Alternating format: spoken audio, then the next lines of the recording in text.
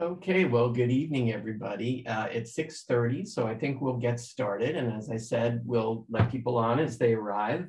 Uh, my name is David Stephen. I'm going to be um, one of your facilitators tonight, uh, along with my colleagues um, from DiNisco Design. And um, I'm going to let them introduce themselves now. Um, but before I do that, um, we also have our translator with us, Nedalia Alicia Lozada, and she's going to just uh, see if anyone is um, interested in some interpretation services tonight.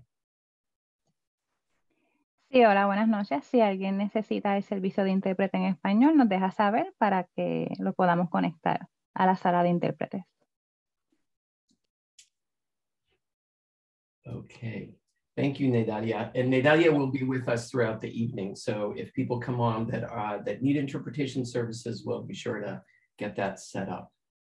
Um, so maybe uh, I'll just um, open up to have uh, Donna and her team just do a quick introduction of them, the team, the design sure, team. Sure, thank you. Thank you, everyone. Welcome. My name is Donna DiNisco, and I'm with DiNisco Design. Vivian?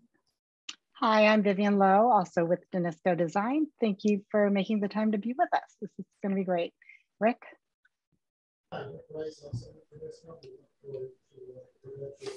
You on route. Recording.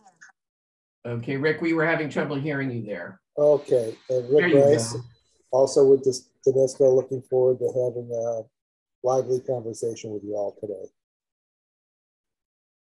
Hi, Tim Cooper with DiNisco Design. And Brian Hunter with DiNisco Design. It's good to see everyone here tonight. Okay, great. And Kathy, I guess I'll hand it over to you to say a few words of introduction. Uh, yes, for those of you who don't know me, I'm Kathy Shane here in Amherst, not with DiNisco Design. I am chair of the elementary school building committee and also on the town council. I'm pinch hitting for Mike uh, Morris, who would normally be introducing this educational workshop because it's about the education curriculum and how it relates to the design of the new school that we're all thrilled um, we're on a pathway to getting. Um, I just want to mention to people that this is the second workshop and there will be a third on February 17th.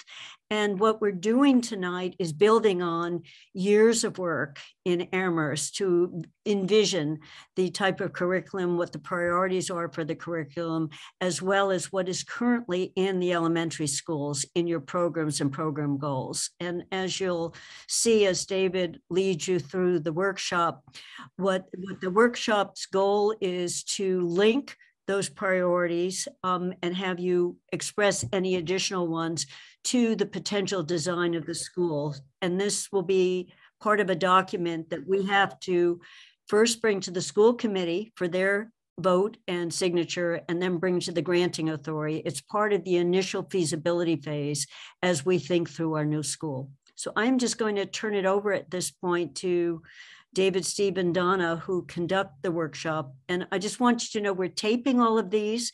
We're making them available on our website. Um, so you can go back and listen to what happened at earlier ones. And they're also being conducted with school staff. Thank you. Okay, thanks, Kathy. And um, Nedalia, we've had a number of new people join us, so maybe you could make another quick announcement. Sí, hola, buenas noches. Soy la intérprete de español del distrito, así que si alguien necesita el servicio de intérprete, déjenos saber, por favor, para conectarlos. Okay, great. Thank you. So yes, um, uh, some of you may have joined us in our previous um, meeting, which was uh, dur during the morning. This is going to be a very similar kind of format to that. Um, we are um, we're going to be sharing with you uh, some of the highlights of the educational and architectural priorities that are being discussed for the project so far. And we want to get your feedback on that. So we're going to have an interactive format where we're using a platform called Mentimeter, where you will be through your computer or your phone, you'll be able to, to offer your feedback. Uh, this is anonymous feedback, um, uh, and but we will be able to visually see what people are thinking. I'm going to bring us through um, a, uh, a, a, series of slides and we're going to open up for conversations at different points. I'm going to share my screen right now. Um, and I'll tell you about uh, sort of the, the agenda for tonight. Uh, first of all, let me just make sure everybody can see my screen. If you can see my screen, can you just give me a, a thumbs up? Okay, great. And um, so it's going to be a little difficult for me to sort of keep my eye on the chat as well as uh, be, be presenting to you all. So, um, but we'll have people focusing on the chat and uh, try to address uh, questions as they come up.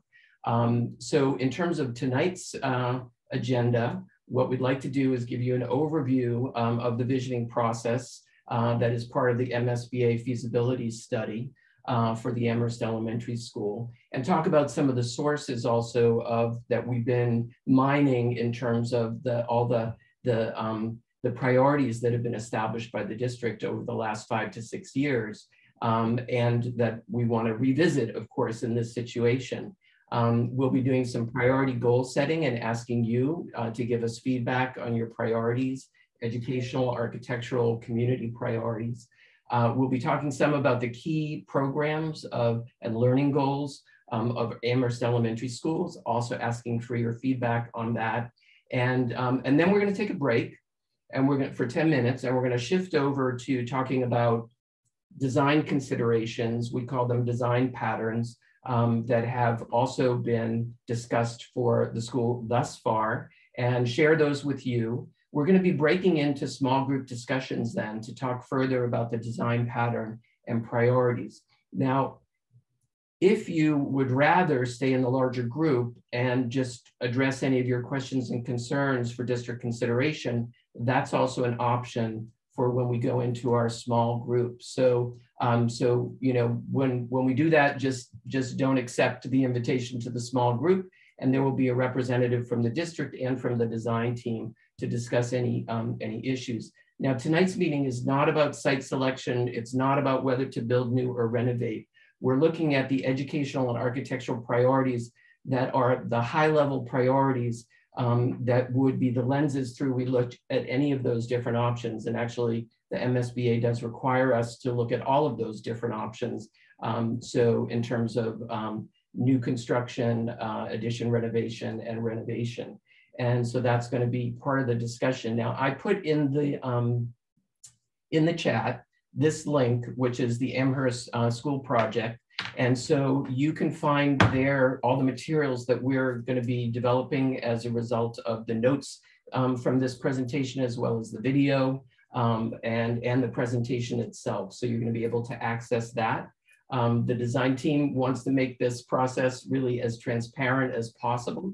Um, the, the, the visioning process itself is something that the MSBA requires as, as schools go through the feasibility study um, because they really want districts to take the opportunity to craft their educational vision and a forward thinking vision, connect that to design possibilities, push their thinking forward about what's possible by seeing lots of examples of, of schools that have been designed and built in the last five years, create a set of guiding principles, um, and connect that to ideas about key space and adjacencies.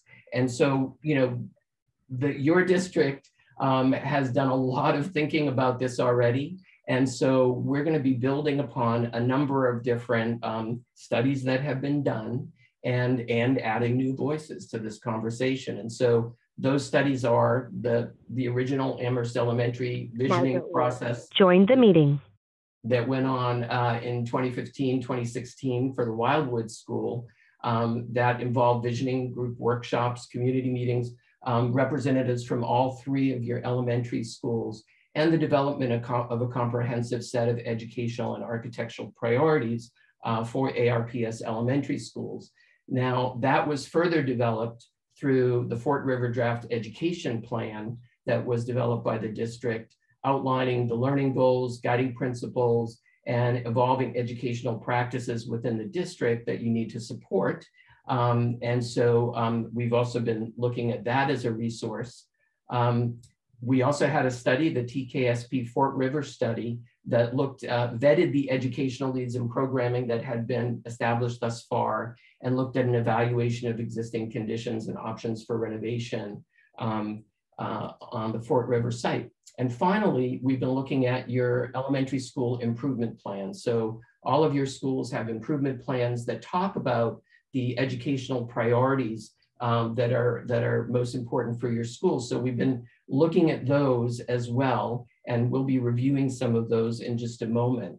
Um, so this is all for the purpose of adding to and further developing your narrative. Um, now, we want to help the district optimize the MSBA space template and align uh, this vision to your educational plan as it moves forward. Of course, it's very important to reach teachers and talk to teachers. We had a workshop yesterday, an after school voluntary workshop for teachers, and we're going to be conducting focus groups with them. We also have really been trying to be very sensitive about the, the stresses on your teachers right now, on your educators, uh, due to Omicron and all that goes along with that. Um, so, so we're going to try and reach them wherever we can, get their feedback, and add their add their uh, voices to the conversation. Of course, that's extremely important. Um, we're going to do a little review of some of the priorities that have been established and ask for your feedback on that. But I wanted before that to just say that as we look at a renovation or a new school or a renovation addition um, uh, for this project, any MSBA project is going to have certain things. So um, ADA will definitely, you will be ADA compliant. We'll be looking at safety and security features. We'll be looking at thermal comfort, including cooling. We see buildings as year-round buildings, of course. Um, this comes along with modern technology and furniture. We know that classrooms need to be well-sized because it's not just uh, more, you, there may be more traditional delivery going on, but there also may be lots of small group things going on in a classroom, and those classrooms need natural light. Um, we know that we'll be looking at how to maximize connections to your site and that indoor connectivity. We'll be looking at special education delivery and how to um, make sure that it happens in the most seamless uh, way possible. And we'll be looking at safe drop off and pickup. Sustainability we know is incredibly important to your district and, um, and we'll be looking um, uh, to make sure there are an adequate number of distributed bathrooms and gender neutral bathrooms as well. So those are some of the things that any renovated or new MSBA school uh, will include. So this is really an opportunity, especially at this phase of doing the high level visioning to be very aspirational in your thinking uh, about what you would like to see both educationally and architecturally uh, for this building. And we want to be thinking about really making sure that, um, that uh, this is going to be a building that's going to last you for decades to come and that can evolve with changes um, along, along the way. So um, we have a large group here, so it's going to be difficult to do, um, to do a whole group uh, sort of introduction. But what I wanted to do is to just maybe if people feel comfortable turning on their, um, this works much better when we turn on our monitors for just a moment. If people could turn on their monitors and then we can see, um, we'd like to just sort of like, you know, get a, get a check in here about who's, who's in the, who's in the room. And so I'll just give people a moment to do that. All right, so um, do we have school administrators here. If you're a school administrator, please, please wave to the group. All right. Hi, Tammy. Um, and what about teachers? Do we have teachers with us tonight? If you're teaching in the system, can you wave to the group? All right, no teachers tonight. Well, we're gonna we're gonna get the we're gonna get to those teachers. Uh, we're gonna do focus groups within their schedule at the school.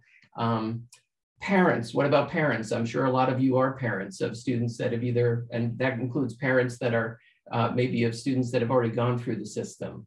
All right. How, and community members, I'm assuming that we've got mostly community members here. Uh, many people wear many hats. Uh, school committee members, do we have school committee members with us? Any school committee? All right. How about um, community partners? that are like work for agencies within Amherst and, um, and partner with the school district or with youth development. Okay. Any town officials, people on boards or, okay. Well, so what I want to do now is I want to give people an opportunity to um, sort of share. We're going to be doing a bunch of priority setting, but I want to give people an opportunity to share their greatest hope for this project. And so we're going to do this by going to a platform called Mentimeter.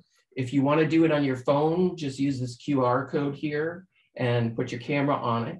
Or you can go to menti.com um, and type in this number, and you're going to get to this page. So I'm going to keep give people just a moment to do that.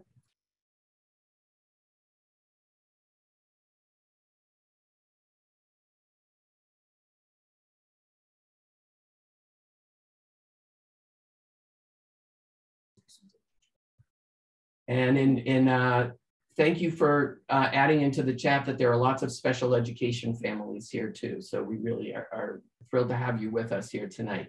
So um, yeah, you can see down, someone already did it. There's a heart down at the bottom in the right-hand corner. If you get to that page, you can press on that heart. That'll let us know that you've reached there. Great. All right. So um, each of the pages that I go to where I'm going to be asking for feedback will have this code up at the top if you lose it for any reason. Okay. Um, so what I'm going to do now is I'm going to go to a slide here, um, which is just asking you to share your greatest hope for the Amherst Elementary School project. Um, that could be a hope that connects to educational or architectural ideas or um, its place in the community. Um, so we're just going to open up for a few minutes to do that. And we do have a lot to cover tonight. So, um, so I'm going to keep us moving along. Um, and we will save time at the end for Q&A. And we will be going into our small groups. And for those people that might have just entered um, in the last uh, five minutes, I did mention that we're going to be going into small groups to talk about um, design patterns and design ideas. But for those people that would like to stay in the larger group and talk about big picture issues or concerns about the project uh, with a district representative, you're welcome to stay in the large group and there will be a half hour for doing that at the end. So we'll, we'll save our questions for then. All right, so we can see these things coming up on, on our screen.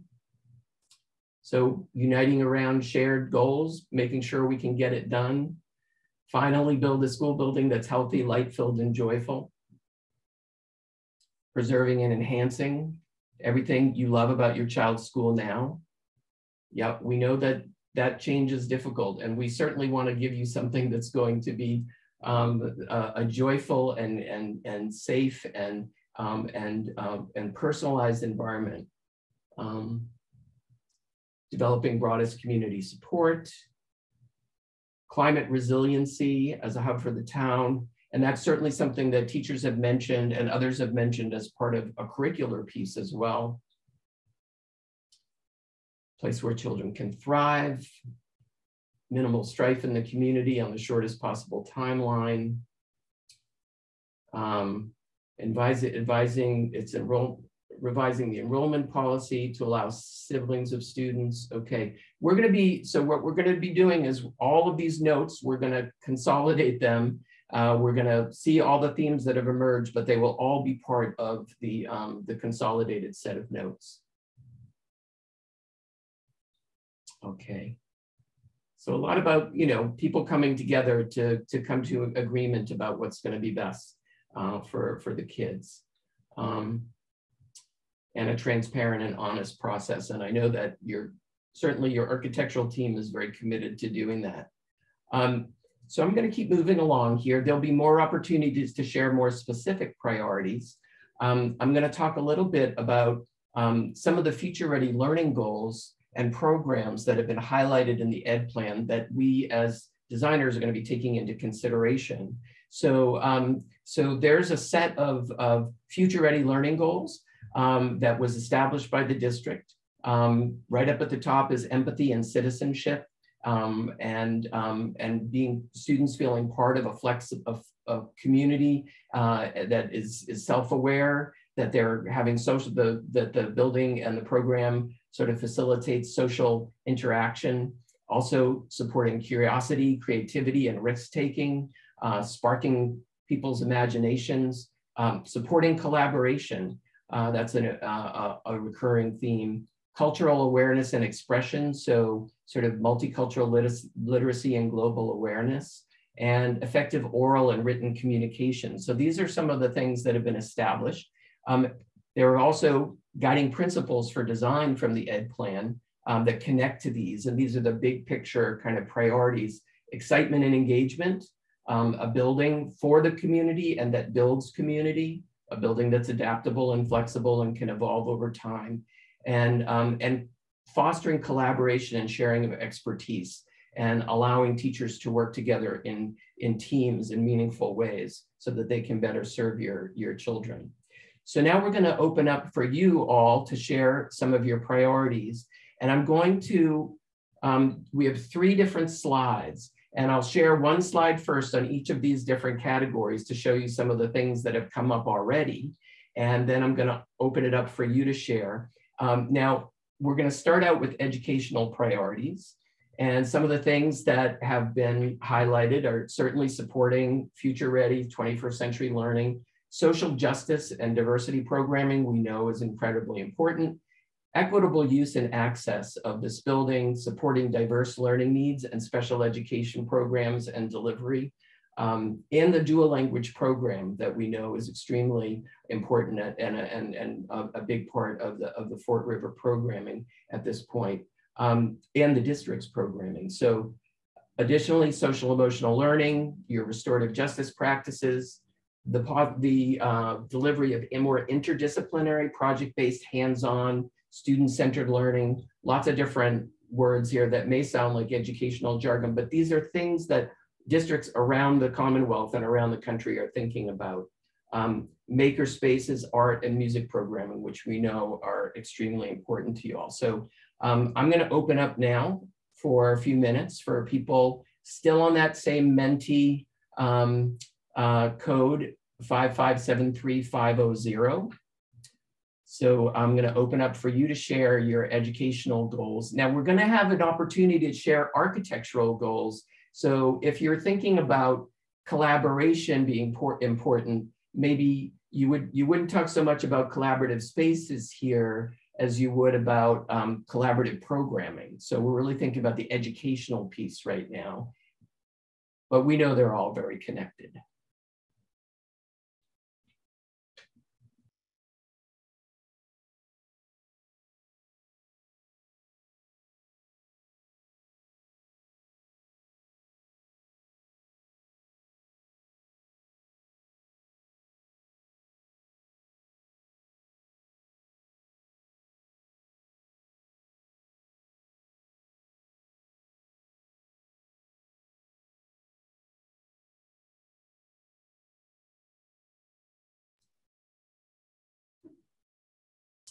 Okay, so support for neurodiversity and inclusion, mental health, um, that definitely connects to the idea of universal design for learning and, an inclusive curriculum.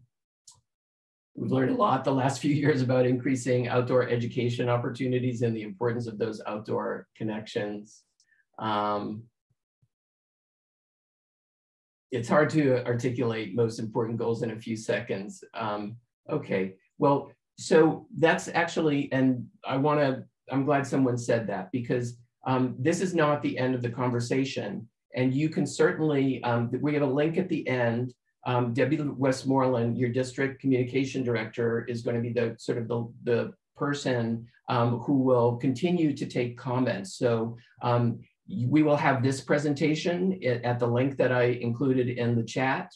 Um, and we will also uh, have the tape of this. Um, and so as you think of new things, you can certainly reach out and we will include that in the information that we're collecting. So thanks for pointing that out.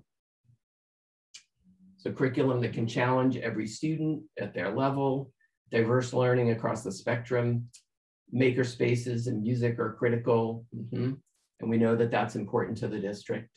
Um, supporting social emotional development of students. That has a lot to do with sort of a building that really supports both small learning communities and the sense of being connected to the larger whole and outdoor educational opportunities, uh, bilingual and dual language programming, access to music and arts, experiential education, uh, and a sensory gym that allows for neurodiverse children to attend better in their classrooms. Okay, great. And curriculum that prepares our children for what the world will look like when they're in charge of it. And that's certainly something as we think about these future ready learning goals, which we'll be discussing in just a moment, that's, that's kind of the point of it all. Um, I'm gonna move on to architectural priorities and uh, some of the ones that have been, uh, that have been highlighted so far. Um, so a, a, a space that's inspiring and warm and promotes a feeling of belonging, universal design for learning, supporting all kinds of learning. So quiet, noisy, small, large, traditional, project-based. Um, and that has a lot to do with also the ease of wayfinding through the building. A building that's practical and comfortable, um, safe and welcoming, uh, flexible spaces. And we certainly look at a lot of our big ticket spaces as being multi-purpose and multi-use. Uh, community building, um, connecting to the whole as well as these small learning communities and display throughout the building, posting student work, celebrating student work, and room to expand if needed. So those are some of the ones that have been established so far. Um, and here we're opening up for you to share your top architectural priorities.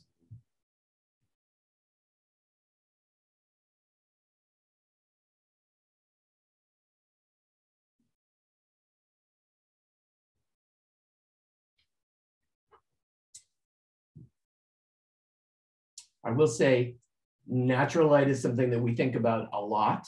Um, it's certainly connected to sustainability, but it's also connected to health and wellness and, um, and connections to nature.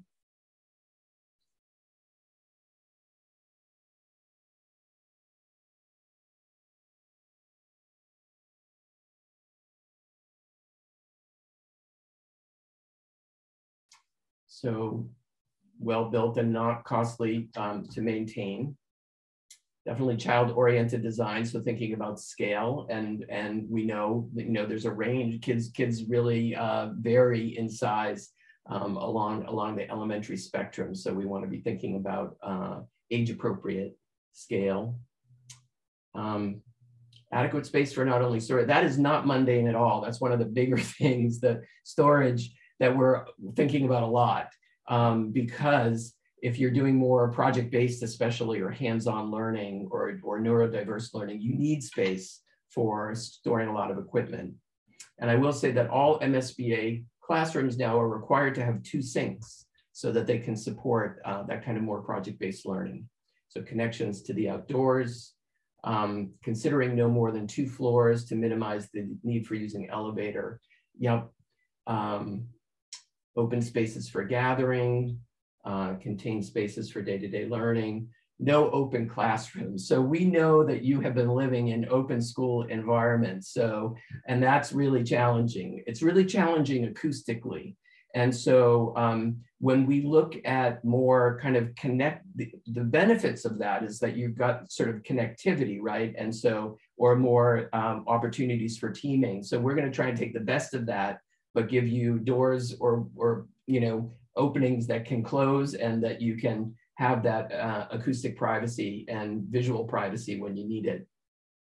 Safe and secure, real walls that go from the floor to the ceiling, um, interactive net zero system. So we'll look at the whole idea of building as teacher, um, light, happy, comfortable, not institutional, sustainable, a common space where children can all come together, space for outdoor recreation, great.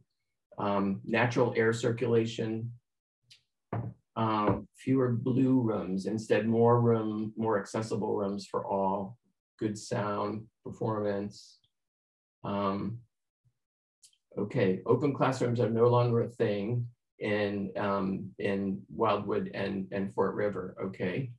Um, materials that are easy to maintain, security features, air conditioning, and COVID and other airborne virus safe building. Yeah, and one of the things we think about um, related to the pandemic is how do we use every square inch of the building so that we can spread out in terms of um, in terms of social distancing if needed, uh, but also just to be uh, have really practical and get the, your biggest bang for the buck.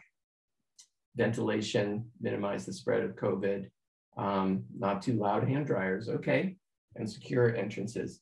Okay, we're gonna keep going to community priorities um, as related to, now one of the things is that, you know, since your older buildings were designed, we're definitely thinking about schools as community resources and community centers that are used after hours and on weekends. So safe community use and access um, to key spaces and multi those big ticket spaces like your cafetorium or your or your library or your gym.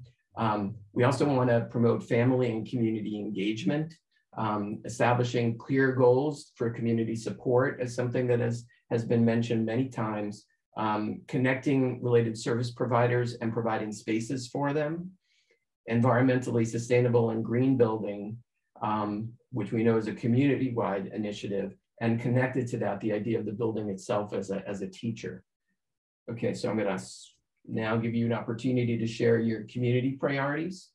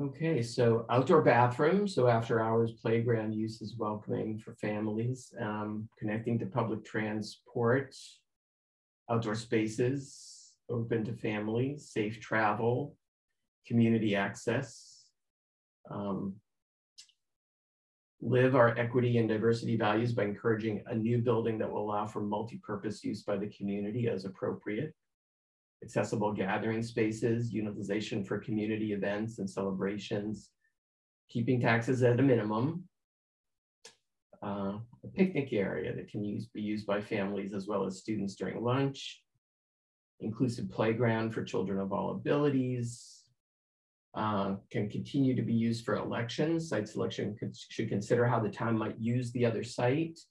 Um, okay, um, green space outdoors again, increasing home values, playgrounds open to all, a community garden. Yeah, your teachers were definitely talking about that yesterday. A meeting space for community groups, places for performances and sports and shared resources like a pool or rehearsal space, um, ways to connect with nature and outdoors, safety, but also a sense of openness. Yeah, that's that kind of idea of safety and welcome is something that we're going to be really thinking about. A lot of it is, um, first of all, uh, sort of more um, kind of creating a gateway mechanism where you tightly control how people get into the building, but it doesn't need to feel like you're, you know, you're getting frisked or anything when you come in. Um, but a lot of visual access as well, um, but active and passive measures for safety. Um, and, and that can definitely align with a sense of openness. Um, okay, so it's important to understand what we all know and understand to be the definition, definition of community, and it varies among and across so many groups that we might get off on, that we get off on the wrong track and take us down the wrong path, okay? Um, it meets school committee policies and school facilities use, space for community gatherings on the weekend, speedy project completion. Yeah, we spent a lot of time in this town with people putting up roadblocks. So we want to make sure that this moves along. Um, consider locking doors near voting areas for election days. Yeah, one of the one of the elements of, of uh, promoting community access in a new or renovated school is providing sort of a community core or set of spaces that have adjacencies to each other, but that can be locked off from the rest of the building. So we're going to be really thinking about how that access happens in very safe ways. Okay, included sports fields, getting the job done. Um, and SEPAC would like to see social and academics connections being made uh, to disabled peers in spaces that help facilitate that. Um, capitalizing on the school complex in existence where Wildwood is, knowing we need to rebuild the middle and high schools next. Okay. Adequate parking without negative traffic impact. Safety for entering the building, but also easy access to and through the outside spaces. Okay. Ease of access for parking and drop off. And we're going to definitely be thinking about safe drop off and pickup in terms of access to the site. Okay, I'm gonna um, I'm gonna make a shift here, and I want to share with you some of the ideas about future ready teaching and learning that that the district has been highlighting in its education plan uh, and its school improvement plans. Um, so we know that the district is really committed to um, providing students with a high quality education and that um, that the multi-ethnic, multicultural, and pluralistic focus is really strong, uh, looking for equity for all students and making sure that students feel respected and, and learn to respect others. Um, so we've looked at these future ready learning goals from the ED plan, and they very much align with um, other things or things that other school networks are thinking about. And one of the things, um, one of the sets of future ready learning goals that is most, I think, well known um, is are the five C's that were that were coined by the 21st century, the Partnership for 21st Century Skills. Um, and these are all higher order thinking skills that, you know, they're they were every bit as important in the 20th century and the 19th century, but they have particular Im impact uh, when we think about um, giving kids the skills to be really proactive learners, to develop confidence in themselves as learners, um, and to learn to, to learn that whole notion of lifelong learning. So um, it's it's so when we think about critical thinking, communication, collaboration, creativity, and citizenship, these are all sort of um, similar to the future ready learning goals that were developed and have been developed by the district um, a lot of those C's are in there, and those C's are really baked into next gen science standards and next gen MCAS. They're really part of sort of the conversation that's going on in most schools. Um, how do we um, make sure that we're giving kids mastery of core academic content, but also focusing on these higher order thinking skills? So connected to that um, is the, the idea that we may have more traditional delivery still going on, but we also want to be getting more and more student centric. Learning is becoming and should be more active. Um, that's not, you know, it's it's varied. Sometimes it's going to be in more traditional delivery. Other times it's more active and project based. Environments need to then be flexible. Uh, they need to evolve to be uh, able to support sort of whole class instruction or small group instruction or independent work. Technology should be seamless and available where you want it, when you want it, not necessarily an end in and of itself, but a tool uh, that is, is available um, and is ubiquitous. Um, and we're looking at one-to-one -one technology now, 10 years from now, 15 years from now, uh, we maybe have many, many devices on hand that we don't even know about. Um, we're looking at collabor supporting collaborative learning, recognizing that we also still need to have spaces where students can focus and where they can be quiet. Um, so we have collaborative environments and quiet environments, subject-based delivery and project-based delivery. So the key is really variety of spaces and adjacencies to support a wide variety of delivery uh, mechanisms. And this is all, again, connected to not only your district learning goals, uh, but what the World Economic Forum in their top 10 skills of 2025 um, has coined the skills for engaged citizenship and a new economy. So when we talk about preparing kids for uh, the world of work and future learning, um, what a lot of people are thinking about are the skills that you learn applying the content you're learning um, in active ways and the ability to um, be adaptable in your thinking to learn and unlearn things.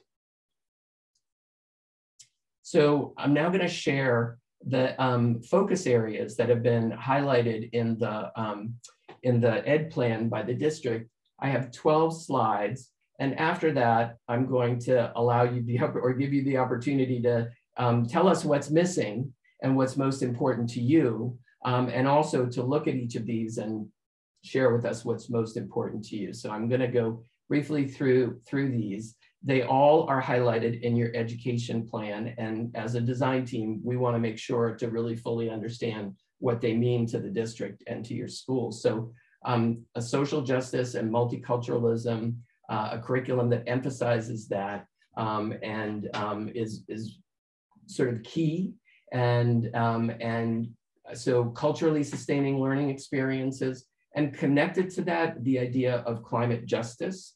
And so when we think about buildings being teaching tools um, and helping students be good shepherds of the environment, that's, that's definitely uh, connected to that. Now, each of your schools have core values and mission. Um, and these all actually have implications for how we think about creating community through the way that we uh, design a building and, and develop connections. Um, so we'll be thinking about those core, those core values and, and your mission very much around respect and empathy um, and feeling a part of the community and engaging families from the community in equitable ways. Universal Design for Learning um, has educational and architectural sort of meaning. Um, so on the educational uh, side, we're really thinking about that neurodiversity and working with students um, and, and nurturing and challenging them according to their individual strengths and needs. So to do that, we wanna give them opportunities to interact with curriculum and information, represent and express what they know and engage with it in a variety of ways um, that could be hands-on um, and that involve the opportunities for action and expression. Um, and, and this definitely means that we need to be thinking about learning environments that can, um, that can adapt to a lot of different um, delivery methods. And that differentiated instruction um, and tiered intervention, uh, which, is, um, which is really core to that uh, process of meeting kids where they're at, um, is, does imply that oftentimes there's co-teaching going on in a classroom or multiple adults that are in a classroom. So that's something that's very different than the way we've, you know, we, we've, um, we've seen school done um, in, in, past, in past decades. So we need to think about classes uh, that are supporting potentially multiple adults and thinking about the spaces outside of classes, classrooms uh, that might be comfortable for doing more small targeted intervention work. Now we know your dual language program, your Caminantes program um, is, is something that people are very excited about. And um, we'll be talking um, to you all and to your teachers and the district about how to best um, locate this within the new building in terms of how to fully integrate it uh, within the new building and, um, and support the program as it grows. Social emotional learning is uh, something that uh, a lot of schools are thinking about. This connects to the idea of growth mindset and um, the development of persistence and resilience and grit. Um, and it connects to just general ideas about mental health um, and responsible decision making, being part of a, a democratic community um, and, um, and building your relationship skills.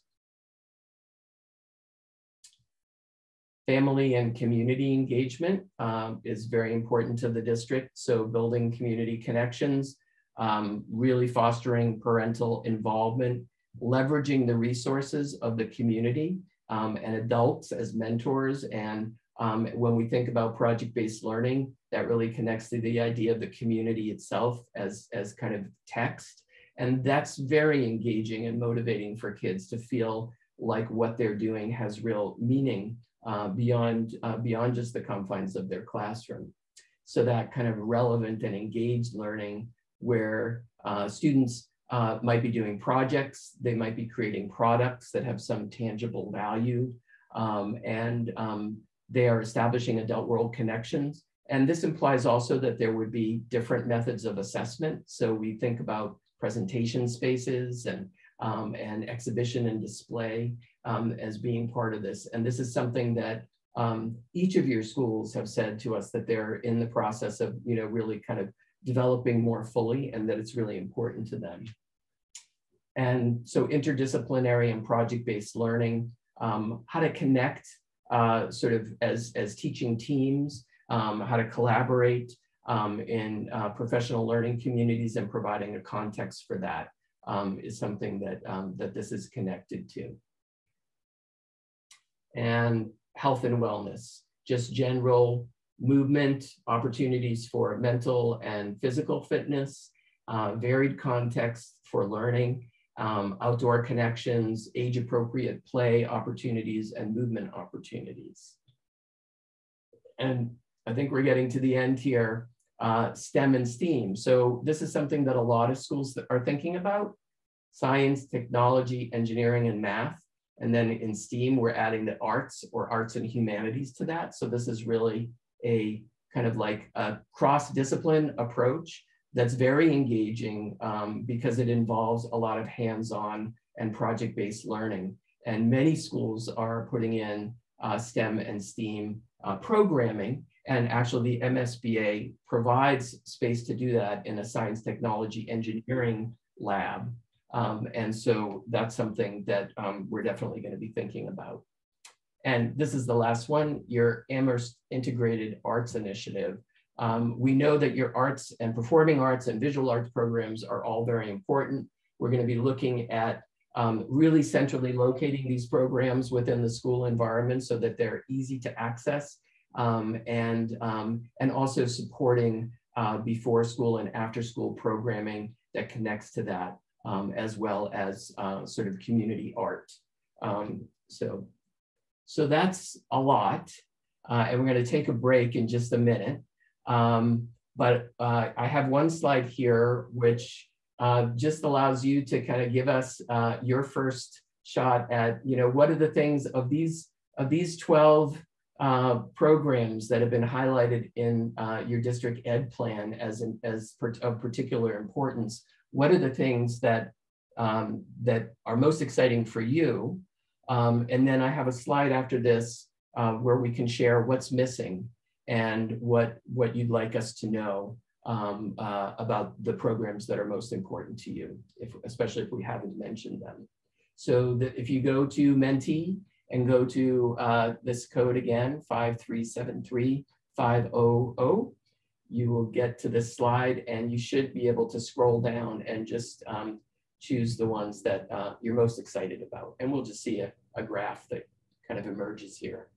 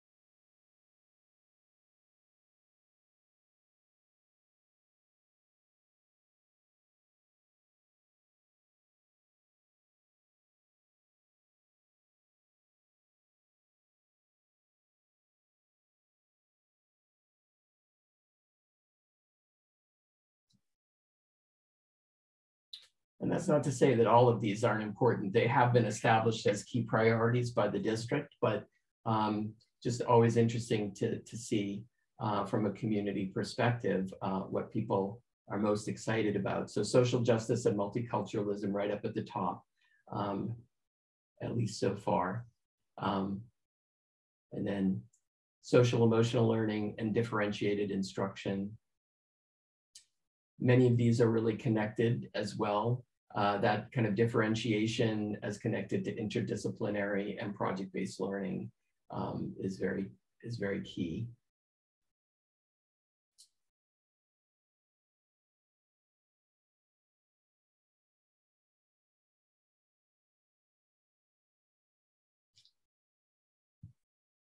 Just take another minute or two here. And, uh, but then we do have another slide where you can share other programs that we have not mentioned here that are of particular uh, importance to you and your families.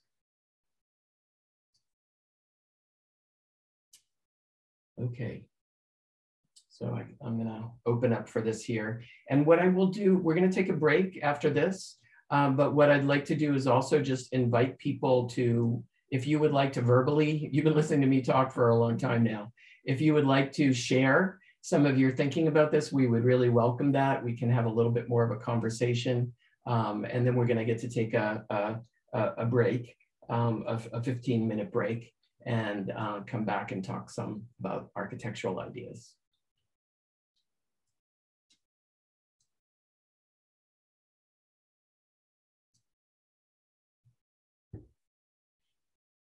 Yeah, we've heard this before, the Spanish instruction for all elementary kids in the district, not, not just those in Caminantes. Mm -hmm.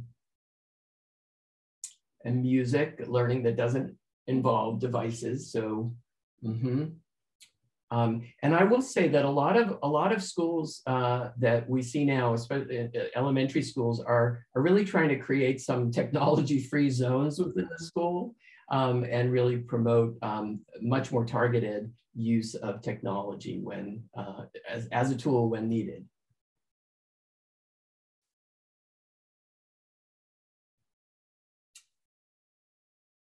An interactive curriculum that teaches the students about climate change and energy conservation and environmentalism. Mm -hmm.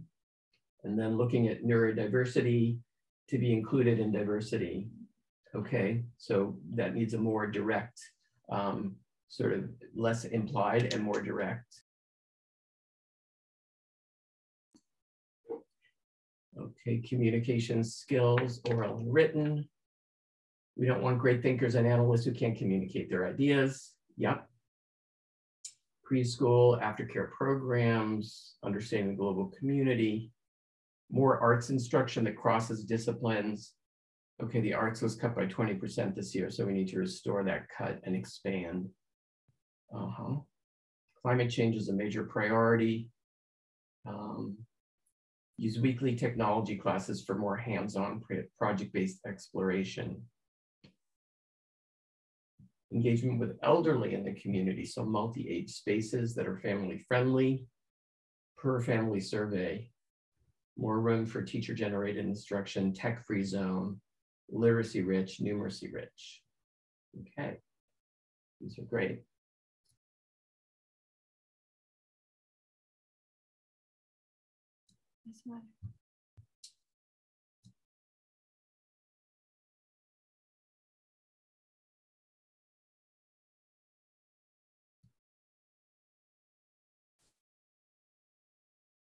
Okay,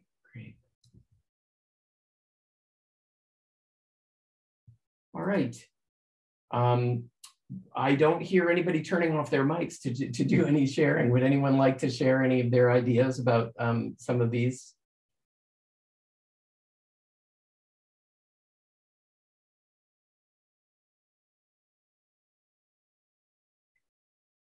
Okay, well, it's 725.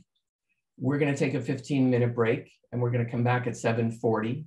And at that time, um, I'm gonna leave this slide up so you can put more on it if you want. Um, and we'll come back at, at 740 and we're gonna shift over to talking about some ideas about um, architectural design and, um, and approaches. Okay, thank you.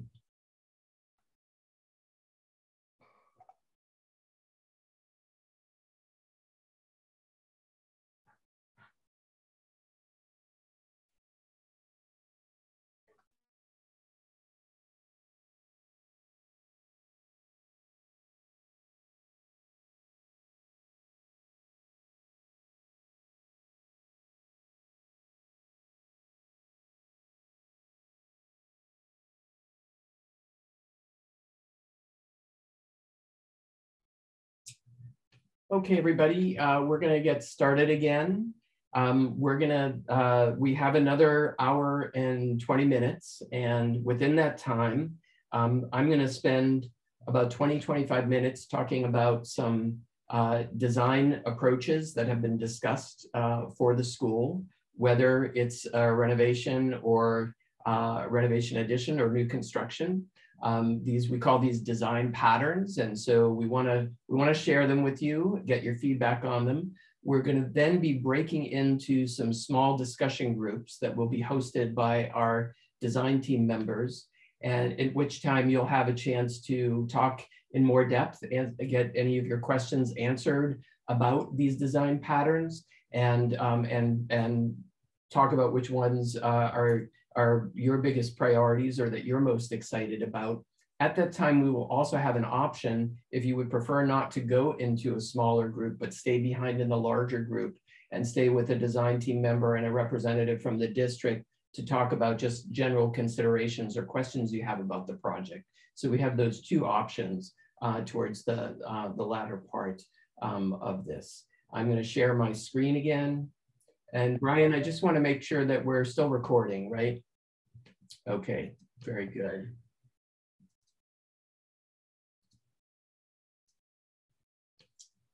All right.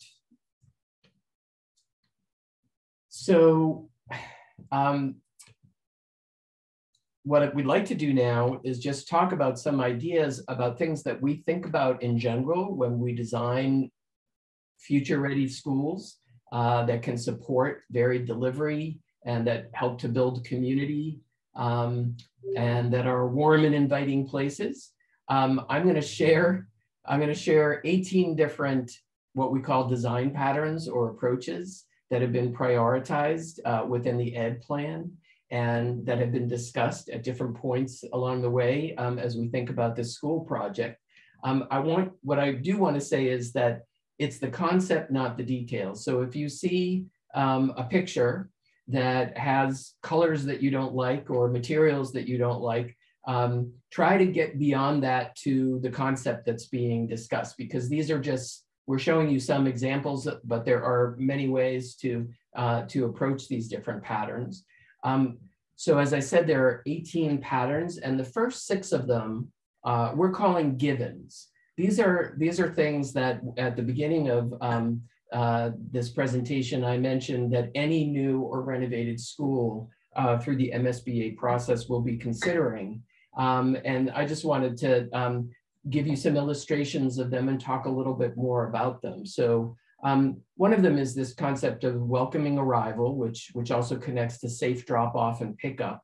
Um, but when we think about welcoming arrival for a building, we want to make sure that one, we know where to enter the building. Um, two, uh, there's a clear entry sequence that has good visibility to and from the building so that we can see or people in the building can see who is approaching the building. Um, this is also connected to security when you get to the doors of the building. But before that time, there might be places to sit outside uh, where parents, when they're dropping off their kids, can uh, talk to each other and chat. Um, or there may be uh, places that are protected from the weather, from the rain or snow, um, if the doors to the building aren't open yet. So we want to be thinking about that, um, that welcoming arrival connected to uh, safe drop off and pickup.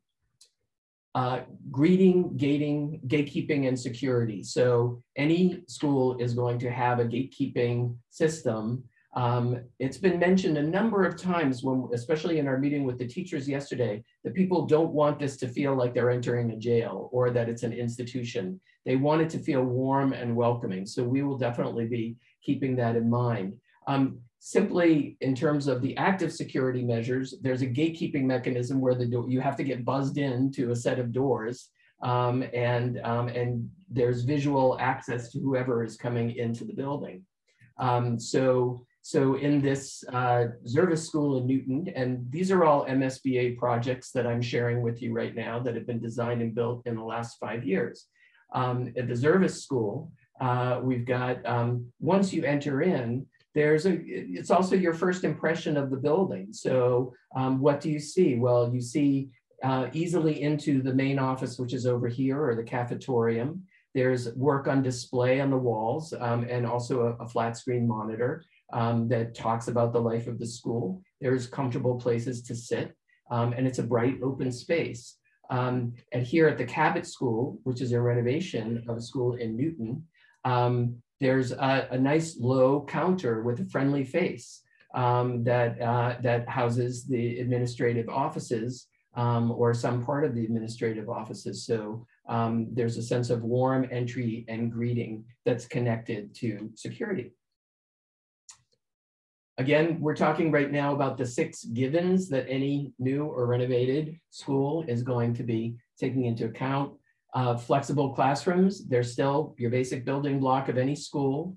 Uh, we wanna make sure there's good natural light. We know that that really, and good ventilation.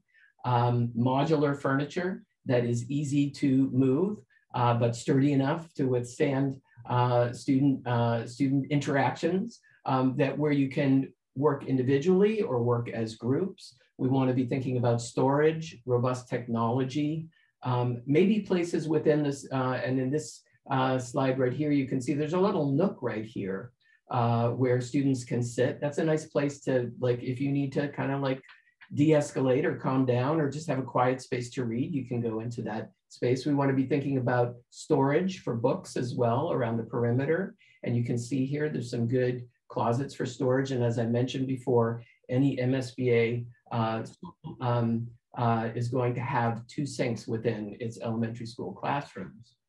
Uh, engaged outdoor play. Um, now this is also connected to the idea of outdoor connections and connections to nature. That's another design pattern, but this is, a, a, you, you see here more um, of these paved surfaces and sort of uh, play environments. So we're gonna be thinking about um, how, how age appropriate play um, is connected to the use of the site and easy access to classrooms. And sustainability, looking at active and passive measures. Um, any MSBA school is going to be looking at MA-CHPS or LEED certification and looking at you know the degree to which the, the also the community would like to work towards uh, a net zero building using passive and active measures and make that whole process kind of an interactive one in terms of the way the building uh, is interacted with with students and teachers.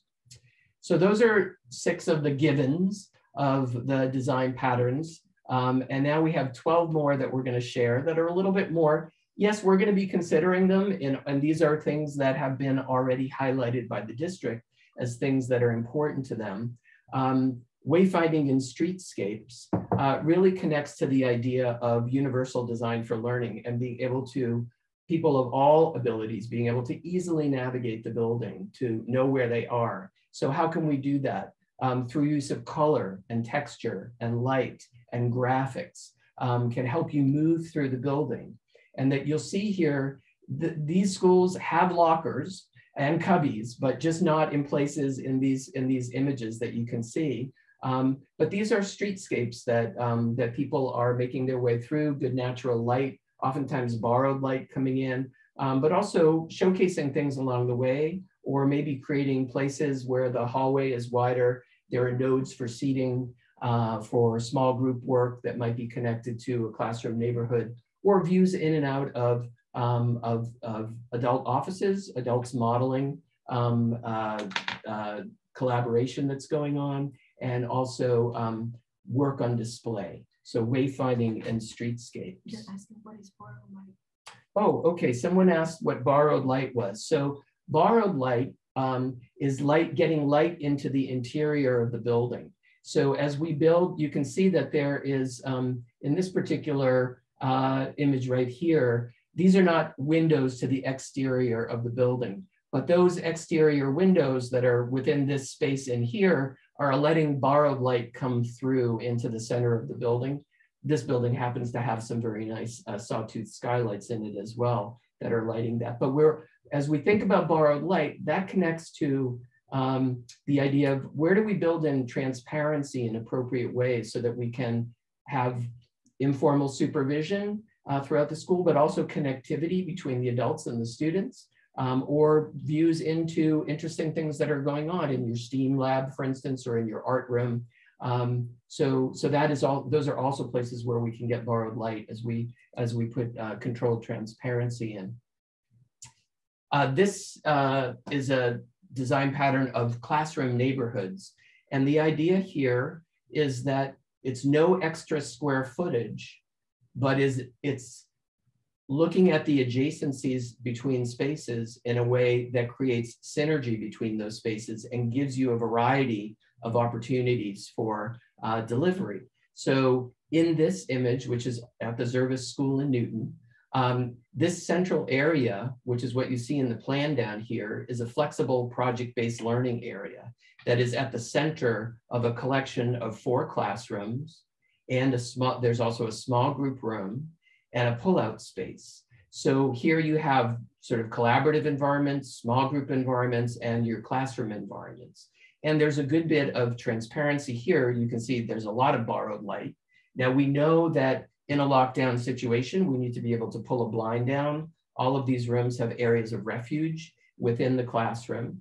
Um, so, but what you have here is a classroom neighborhood. This could be a grade level classroom neighborhood. We also know that sometimes there are bubbles. There are more kids in one year than another. We don't want to get locked into a certain size of pods, but we can think about how to co-locate classrooms in a way that creates a neighborhood. It's a sense of place. It's a sense of belonging for students. And it's a way to create a really small learning community within the larger community of the school. Another pattern um, looking at breakout and pullover spaces. So one of the things that uh, we know uh, through uh, through DESE, the um, uh, Department of uh, Education, uh, Elementary and Secondary Education, we are taking an approach towards special education delivery where you will certainly get occupational therapy, physical therapy, sensory rooms. They will be in a certain part of the building that may be more private, but we also want to build in breakout and pullover spaces in the form of breakout rooms where you can close a door, or maybe nooks or areas in the hallway, extended learning areas next to classrooms. And that allows you to do targeted intervention and enrichment in close proximity to your classrooms. So um, DESE really wants to see this distributed throughout the school. And the good news is that there's a lot of square footage um, that is now through the MSBA template that is uh, that is put towards delivery of seamless special education and enrichment services.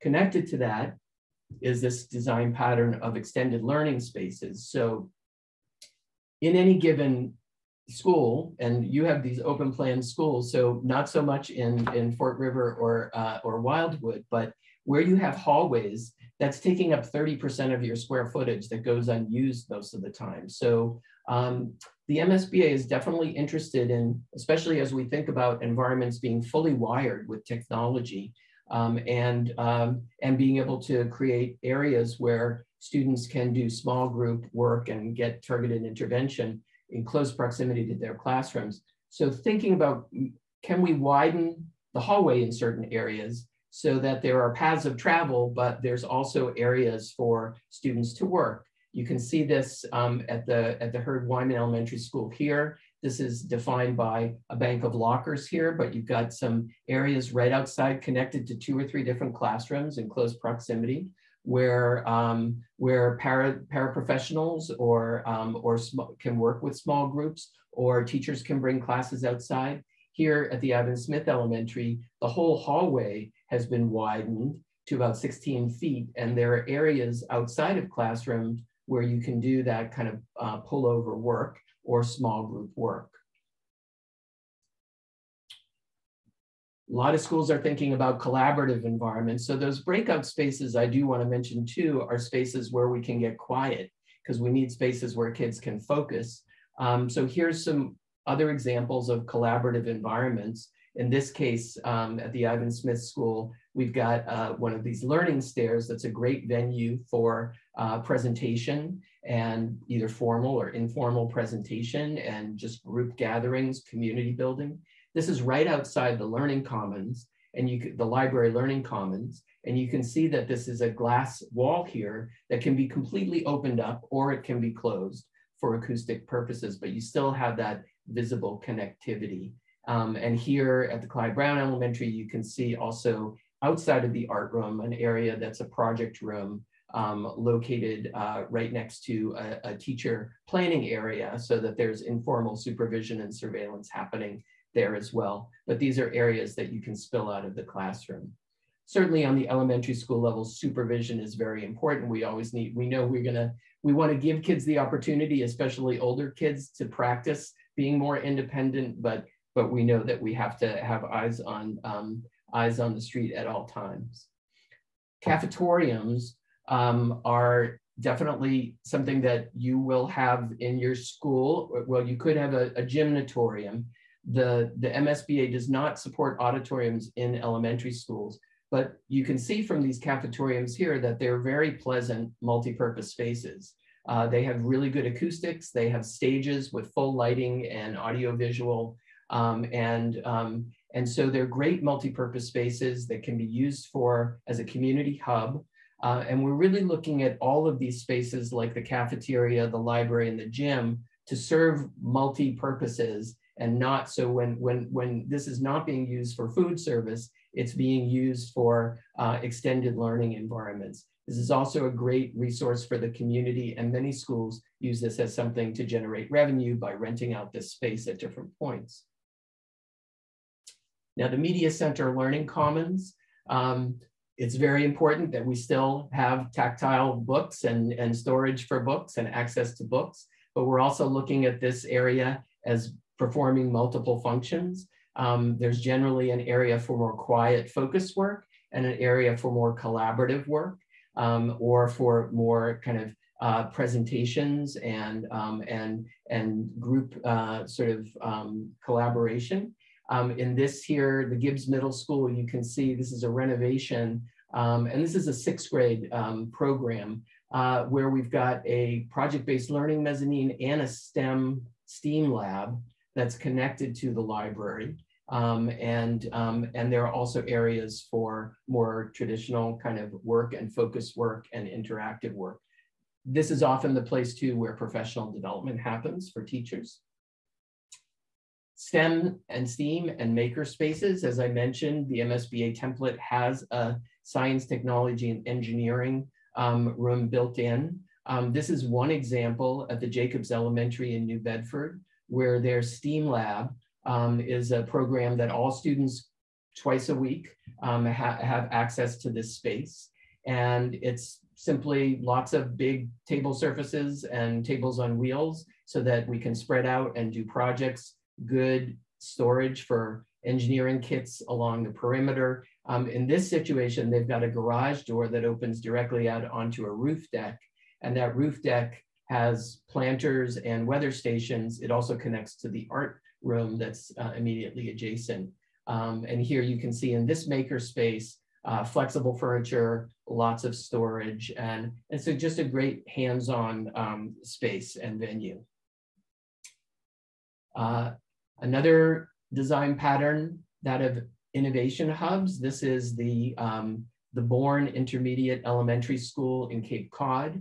And what they did here is uh, they took a lot of the sort of those big ticket spaces like the Library Learning Commons, the art room, their STEM or innovation studio. They created an outdoor classroom and here's their music room and they co-located them in what they call the innovation hub uh, which is also accessible after hours. It's where, and it's where um, after school programming happens. So it's a really nice kind of, uh, again, you get this synergy between the spaces, um, but it also, it's very centrally located. This is a new school building and the classroom neighborhoods are around the perimeter. So these are very easy to access.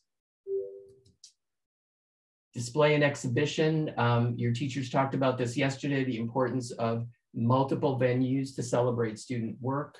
Uh, that can be in 2D, 3D format and cases, uh, glass and closed, cases, or venues for more professional kind of um, curating of student work or LCD uh, screen panels. So you certainly at the entry of the school want to give people a good first impression, but at different areas throughout the school provide venues for, um, for that celebration of student work and outdoor learning.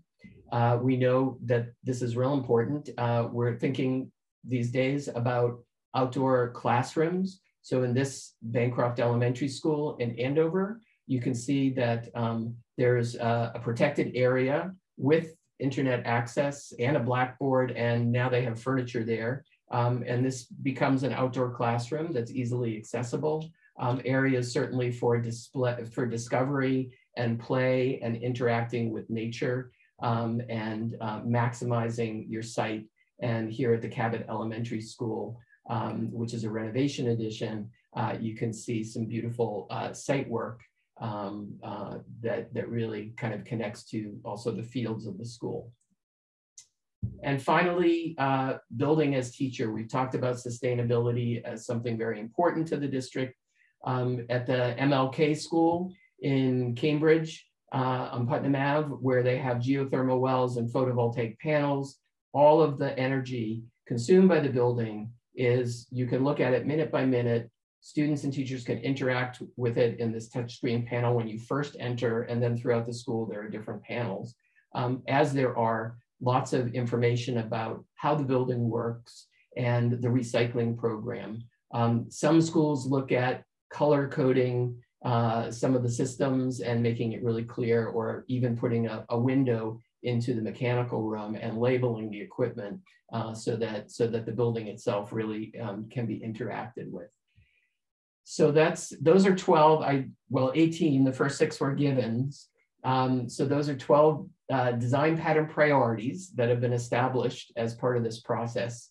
And so we just like to, we're gonna be getting into small groups for you to ask more questions about this and also to, um, uh, to talk to you about what your priorities are. Uh, but first we'll just open up for Mentimeter once again uh, using menti.com and this code 5573500. And you can uh, tell us which of these things you're particularly excited about. Um, not that not at the expense of the others, but just the ones that um, that really resonate with you.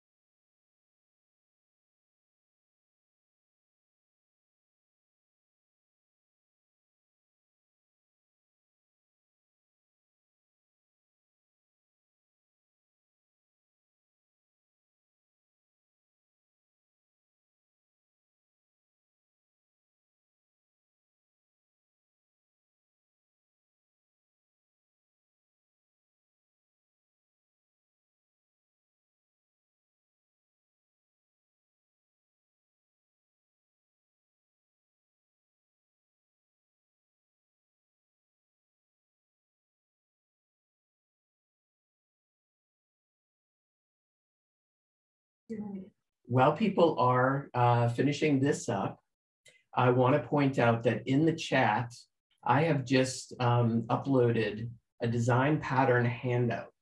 And that has a, uh, it's a PDF document that has all of the design patterns that I just shared with you. And so um, uh, I would ask that you just double click on that and open it up because before you get it, once you get into your small groups, uh, meeting with your uh, person, your, your architect, um, you're not going to be able to access this. So it's, it's important for you to do it now um, so that you can visually access the design patterns because what we'll be doing in our small groups is we'll be really talking about um, the things that are, are most exciting for you. And you'll be collectively making a list of your top six to 10 design patterns uh, that you envision for this uh, renovated or new school. So um, please, uh, please do that. And then I will also say that, um, so we have Mike Morris with us. Hi, Mike. Um, and, um, and we have Donna with us from the design team who's going to be staying back in the larger group um, for anybody that would like to uh, not go into a small group discussion about design patterns, but would, but has other um, conversation that they want to have with the district about um, concerns or, or um, uh, priorities that you may have. So um, what we'll be doing is um, in just a moment, you're going to be getting an invitation into a small group. And within that group, we're going to spend, uh, it's 8.04 now. So we're going to spend probably about uh, 25 minutes and, um, and discuss uh, what you're most excited about and what questions you have um, about any of the design uh, ideas that have been brought up so far. So any questions about that before we jump in? All right, so what we've done is we've made up um, a number of groups and but what will happen is uh, we don't know how many people are not going to go into the small group just yet. Um, so it may be that we re redistribute things once people, what, what you will do is you will get an invitation into a small group. Um, and um, and uh, so please accept that unless you want to stay in the larger group. Okay.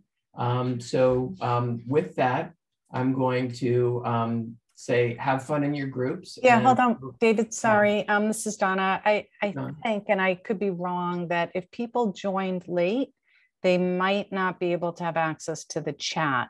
So if, if you can't see the chat and, um, or could only Mhm. see the, the late part of the chat, couldn't see everything else, I, oh, I think Mike just went ahead and, and put it up. There's a Google Drive. Thank you, Yeah, I just made it a, David, I just took yours and make it a, a Google link. Some people I know uh, sometimes Excellent. struggle to download PDFs and, and just, it's the same thing. There's no difference. Yep. Okay. Um, is there anyone that's having a problem accessing um, the the PDF? Okay. All right. Um, are we ready to jump into groups for 25 minutes? And um, okay, so we're to do that. And again, we may just, thanks, Carrie. Um, we may just uh, redistribute groups a little bit once we find out, you know, we want to have a good, you know, four or five people in each group so we can have a good conversation. Um, all right, but just looking at the, our design priority slide before we uh, uh, just how that how that all shook out. It looks like outdoor learning way up at the top, um, classroom neighborhoods and and breakout and pullover spaces, and those are very connected. Um, and um, collaborative environments, um, all all connected. STEM and STEAM way up there as well. Okay, um, so we'll see you in your small groups, and then we'll see you back here in 25 minutes.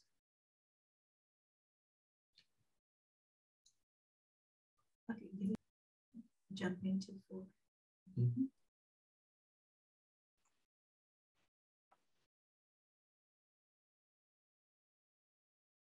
Hello. Hi. Hi. I don't know how many people will be joining. Um, so why don't we wait for a second? Sure. Let's see. I am.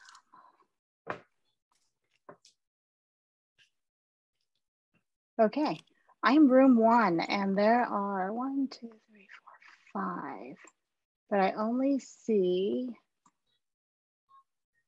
Okay, so there are a couple that are not joining. All right, hello everyone. Thanks for making the time to uh, join us. I'm Vivian Lowe with DiNisco Design and would you mind if we just kind of took a couple minutes to introduce ourselves? Why don't we start with you, Anastasia? Hi, everyone. My name is Anastasia Ordonez, and I'm uh, a parent of a Fort River fifth grader and a uh, Amherst Regional Middle School seventh grader. And I live here in Amherst. Awesome, thank you. Amber? I'm just going through my boxes. Hi, I'm Amber Connell Martin, and I'm a parent of a kindergartner at Fort River. And I'm also the parent of a fifth grader at Wildwood. And my kindergartner doesn't want to go to bed. He's right here. I know your type. Yeah. All right, great. Aaron? Uh, I'm, I'm Aaron Hayden. I um, was a parent many years ago, so I raised my hand at the uh, member of the, of the community in the very first question there. Um, been involved in all kinds of stuff like this. I, I'm a, an engineer for a school in town, so this is this is all good for me. It's awesome to have you. I was wondering how many folks just from the community would join us. So I'm I'm glad you're here. And Amaris? Hi, nice to meet you. My name is Amaris Cuevas. I'm a Spanish teacher for dual language, kindergarten caminantes. Um, awesome. so I'm here for hearing everything that the people say. I'm so glad you're able to join us because you know before the pandemic when we used to do these we would have uh, in-person visioning sessions and and we would have teachers as well as parents and administrators and it was just really great. We sometimes we even had kids because if we had a series of these we would invite the students as well. So they get to be really fun and um, very creative. So in any case we have an assignment. Um, do you have have you had a chance to take a look or were you thinking about what some of your priorities may be as um, David was showing the slides. I could also put them back up. Uh, would you like me to put the slides back up so we could, okay. Let me share my screen. See if I could do this. Um, yeah, we're all getting so good at, at uh, Zoom nowadays, right? Well, speak for yourself. I am challenged every day because there's always something that happens that doesn't work. But hopefully you can see my screen. Can you see the slides? Or actually they're like they're images from David's presentation. Okay. Y yes. Okay. So I'd love for this to be a dialogue. We could, um, you know, I, I'd love for you to just maybe one by one say what your priorities are, or we can go through the slides and say, yeah, that's something I'm really interested in. I'm, we could do it any which way, but we don't have a whole lot of time. So uh, I'll, it'll be well, a free for all. I'm going to jump in then just to try to cut to the chase. And maybe I'm hoping my, my, my colleagues here will too. Yep. Um, I just wanted to, to chat or, or, or to chat with you about um, the value and the importance of um, it's it's interesting how they changed the names over time but they're, they're called stem now and steam yeah. you know we used to call it art and culinary arts and music and um, the um, the thing that i wanted to say about that is that um, those spaces those programs are valuable for learners along the whole spectrum so the people that need a lot of help in order to, to, to master the material and, and the things that, that students are in school for. Um, th those are the places where they can really be helped. There's a lot of tools there that, that uh, educators seem to have to reach and help them. And then at the other end of the spectrum, the, the, the, the students that just, you know, you turn them on and off they go. Um, yeah. They also, those are the same spaces interestingly, in, in my experience from when I was a parent, that support them as well. And sort of in the intervening years, since I haven't been an active parent, um, I've been watching those spaces get squashed. Music is gone, um, arts are gone, and that hurts. Even though it's supposed to help, you know, it, hurts both ends of the spectrum. Um, well, it hurts everybody. When when there are budget cuts, it seems to always affect those programs. So, right, and I think that's just a misunderstanding as to where the uh, the bang for the buck, the, the education buck, is. And also, you know, as a taxpayer, I'm just cheap. well, you know, taxes just keep going up, so we we totally get it. Um, all right, so what I'm hearing is that what's really important that you see is a STEM STEAM makerspace program. Yes, and, and, and makerspace adjacent programs. There, there are things that are not makerspaces. You know, music is not a makerspace. The culinary arts is not a makerspace typically. And then now, now makerspace is also being redefined. It's just right. a new new term. So yeah, agreed. Okay, great. So that's your one. If if there is one thing that you would like to see in a new or renovated school, this is what we really want to have. I'd like the pretty hallways and the secure front doors and the, and the, and the classroom clusters to be supported by STEM space. Yes, exactly. Great, thank you. Anastasia?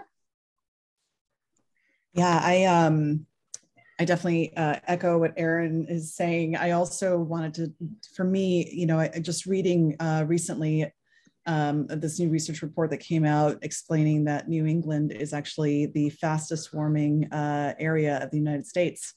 Um, and Massachusetts in particular will be experiencing climate change much faster than many of our other neighbors to the north um, and south. So I think that you know sustainable uh, building is extremely important for the future um, for many different reasons. Both practically speaking, I think we're going to have to just you know face the fact that um, heating and cooling will become a lot more difficult and challenging in upcoming years, and so we have to make sure that all of our buildings that are being built um, are sustainable and um, are, you know, if not uh, net zero, definitely have that aim.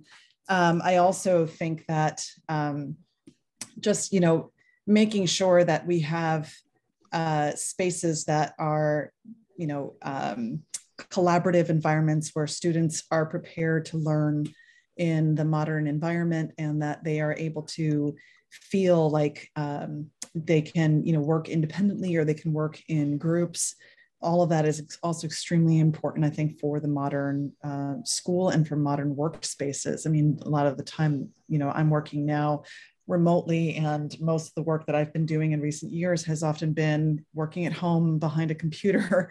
Um, but also, when I get into a space with other people, I have to be able to work in a project environment. and I have to be able to work with others in, in those kinds of environments. So that's extremely important um, and you know extremely important for for me i think and then the last thing i was going to say is that i actually think that our building as teachers is also helping us meet those sustainability goals and having a building it doesn't necessarily cost us that much more or if anything at all. It's just thinking about it a little differently than we thought about buildings before where we would hide the furnace in a, in a room behind a closed door. Now we're actually providing you know a glass or transparent space so that students can learn from that and see what's involved in the operations of our buildings. And if we want people to be aware of you know the their energy consumption in buildings that they want them to be good 21st century citizens they actually have to be able to see those things.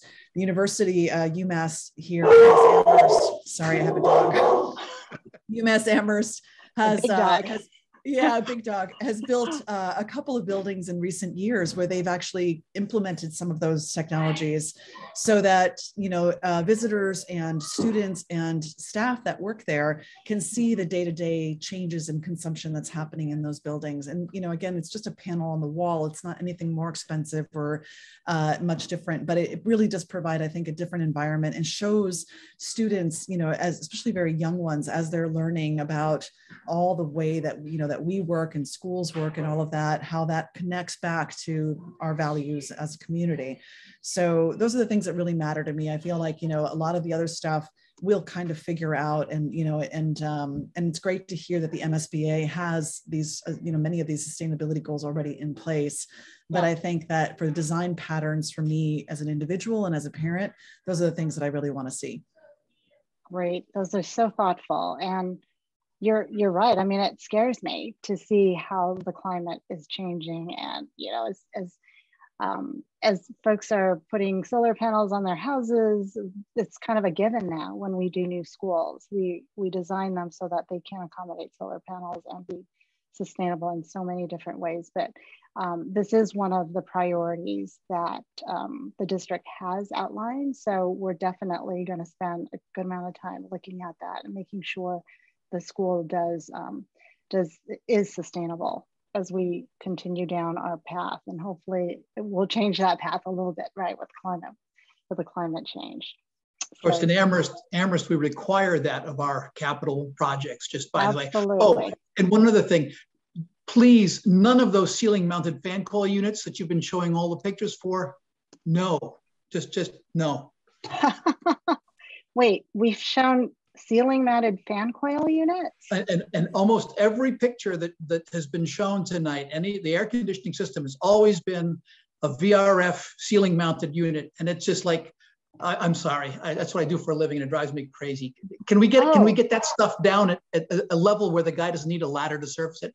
I'm sorry. Oh, I'm oh, getting... Oh, oh, I see. You mean make things accessible so that I, I, they can like actually be maintained. That yeah. Anastasia is talking about. That this is this is great. Uh, you yeah. know, it's near and dear to my heart as a STEM guy. But yeah. don't hang it in the ceiling, please. Got it. All right. Um, Amber, what about you? Um, yeah, I, I really like what um, Anastasia was saying about the importance of building as teacher and, um, you know, having it be a net zero sustainable building. And I, I really share the concern about climate change um, myself. So I, yeah. I echo all of that. Um, I mean, in terms of what I, I saw that I would prioritize, I mean, everything looks amazing. Like I grew up in a school that looked like a prison, right? So it's like anything. Yeah everything you've shown is just like, oh my God, this is beautiful. This is amazing. I want all of that. Yeah. Um, for sure. But I, I think like, you know, what I what I, I, do really value about the schools now um, that my kids are in that I'd like to see continue is just the sense that it's like it's one, you know, school community, like it is a small school, like everyone's like sort of looking out for each other and cares about each other. Um, I like the stuff that's on the walls that's like the student artwork and i like how you come in and it's like how to say hello in every language and there's like pictures of the kids and what countries of origin their parents are from. Like it's just you know the whole environment just says like this is us and it's about us as a community and as a school. And so as we get these like beautiful designs like i still want to maintain that in some way so that it still feels like you know the building itself is an expression of us as a community and and our values um so that being said, I mean, I, I really also um, prioritized outdoor spaces. Like I think, um, you know, outdoor space is super important. I have my kindergartner who just like wants to be outside and running around and playing all the time. And he's like a ball of energy. So like the outdoor space is super important. And then like from, you know, my older kid, um, music is super important. And so like he's, you know, takes lessons outside of school, in school, um, and it's it's just done so much to to improve his life and and really you know make it better. So um, i want to make sure there's like really you know beautiful music space and a beautiful art space um, all those things that aren't necessarily academic but they really like add to our kids education and, and build them as people. Um, so that's really important to me as well. Great. yeah. No i think um, so as we talk about stem and steam steam is so STEM is science, technology, engineering, and math, right? So when you throw in art or arts, that is what makes the STEAM, but you can define art in so many ways, right? There's fine arts, which is, um, you know, art, the way we, we know it, painting and graphic design, et cetera. And then there are the uh, performing arts. So some schools really integrate that piece of um, of the STEAM into the whole curriculum where we, where we provide and design flexible spaces for performance, for um, just, uh, you know, learning stairs where kids could um, and teachers can bring smaller groups out for informal meetings and informal presentations. So there's so many ways we can skin this cat. And the really great thing is that the MSBA now has folded into the program a, a STEM um, a STEM space. So now they support that, which in the in the past they had not. So it's really um, it's great because I think they're realizing the importance of that and how every child learns so differently. So that's all really um, it's something that we will definitely address. Um, Amaris, do you have anything to I'm sure as an educator, you must have so much you would love to see. So, so as we as you go through this, and thank you, Amber, because one of the questions I was going to ask if we didn't get to it is, what is it about your schools now that you actually love and you would like to see um, at a new or a renovated school? But go ahead. The teachers. Everything that's amazing. It's well, like of course a dream, dream a school. You know, yeah. that's like everything is super cute, like super amazing. The out outdoor um space for for learning is amazing. It, mm -hmm. Especially in my case, so I'm a Spanish teacher. The kids learn Spanish, and oh. we need to do everything like the hands-on and a more experience for they make um, connection for the language. Mm. And also in Flexi Classroom is super important for us because we need to figure out the classroom in math in one way, in, in phonics in other way, in sure. context in another. So change the classroom and bring the space for that, that's that's really cool. Yeah, absolutely. So what is it about? Are you at Fort River or Wildwood? Or are you uh, at Fort River. Fort River? So what is what is it about Fort River that you do like that you would like to see or improved at a new or renovated school? Mm, so I like the school. It's big. My classroom is big. The other mm. classroom is more bigger now about for pandemic, but I like my classroom is big, the storage. So in kindergarten, each teacher has the storage because mm-hmm. we have a lot of stuff for working with the kids. So yes. in center, um, that's super like it. Um, what I improve, I improve the highway. We have like quacks. And sometimes when I'm walking with one kid, like we have running, oh, yeah. where am I? I don't know you. I mean, I see little D. And that's oh, no. it. So um, sometimes I like, I'm lost. So I'm gonna improve that. So how yeah. management, the, the highway for location, location for the people when one walk or something like that. Okay. Yeah. Yeah, the, the school is um, really interesting, but what I did find that I really liked was the large library space, the media center. And I don't know if, if that's something that most parents and teachers like or they don't, but it certainly, it, it was to me very large and flexible. It, it seemed like there were a lot of uh, different ways you could use that space. And the community uses it too, not only for school functions, but it's a way of connecting to the school. And it seems to be the center of, it's like the hub of what's going on in the academic area at least. So, um, all right, so I'm going to, I didn't get a warning yet, but I'm going to share my other screen. Let me see if I can I'm. I'm here, Vivian. David's happy face is there. Is that oh, the warning? Hi. Hi there. Hi there. Uh, we're doing fine. We've got uh, we've got another uh, uh, probably eight minutes or so. Okay, so I'm gonna stop sharing the photos that I was really bad at scrolling through, and I'm gonna share my worksheet. I add one, one quick thing while you're you're finding that, yeah. Vivian. Um, the one thing that I that I like a lot about uh, Fort River is the outdoor garden space that ah. uh, teachers and students had started a few years ago and it's small and it's not you know it's not high tech in any way right but it's so happy and you have kids able to go in and, and grow some vegetables and you know learn how to tend for vegetables and things like that i would love to have something like that continue um, you know in in a new school space it'd be awesome if we had like a dedicated outdoor garden learning area where students mm. could go and you know perhaps uh, learn little details about the plants that they're taking care of learn how to you know the, the best kinds of materials like mulch and things like that to you know it's just there's so many different opportunities in that kind of environment so not just an outdoor learning but just an, an actual hands-on type space. hands-on garden yeah. space yeah for sure and i might expand on that and add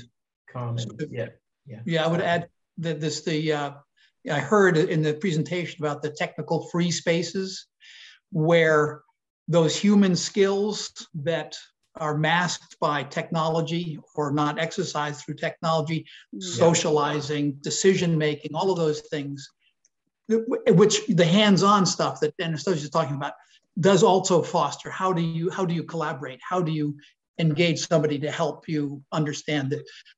So, yeah. And th this is something we see a lot of schools. I mean, there's absolutely no problem building in gardens into the into the landscaping design, and a lot of schools are really valuing that. Um, we can also think about um, easy connections to the outdoors. A lot of times when you have a STEM or a STEAM space, you may have a garage door that opens directly out into an outdoor area. that allows you to build bigger things and um, and just expand outward if you need to.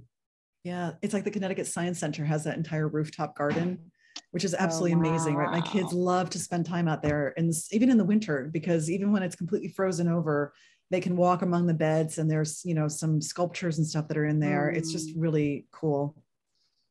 But I'm going to go check in on another group of five more minutes. Is five more minutes? Okay. Yeah. So I'm going to share. Thanks, Steve, David. I'm going to share my um, tally sheet so that we can kind of fill that out. See if I could do that. Um,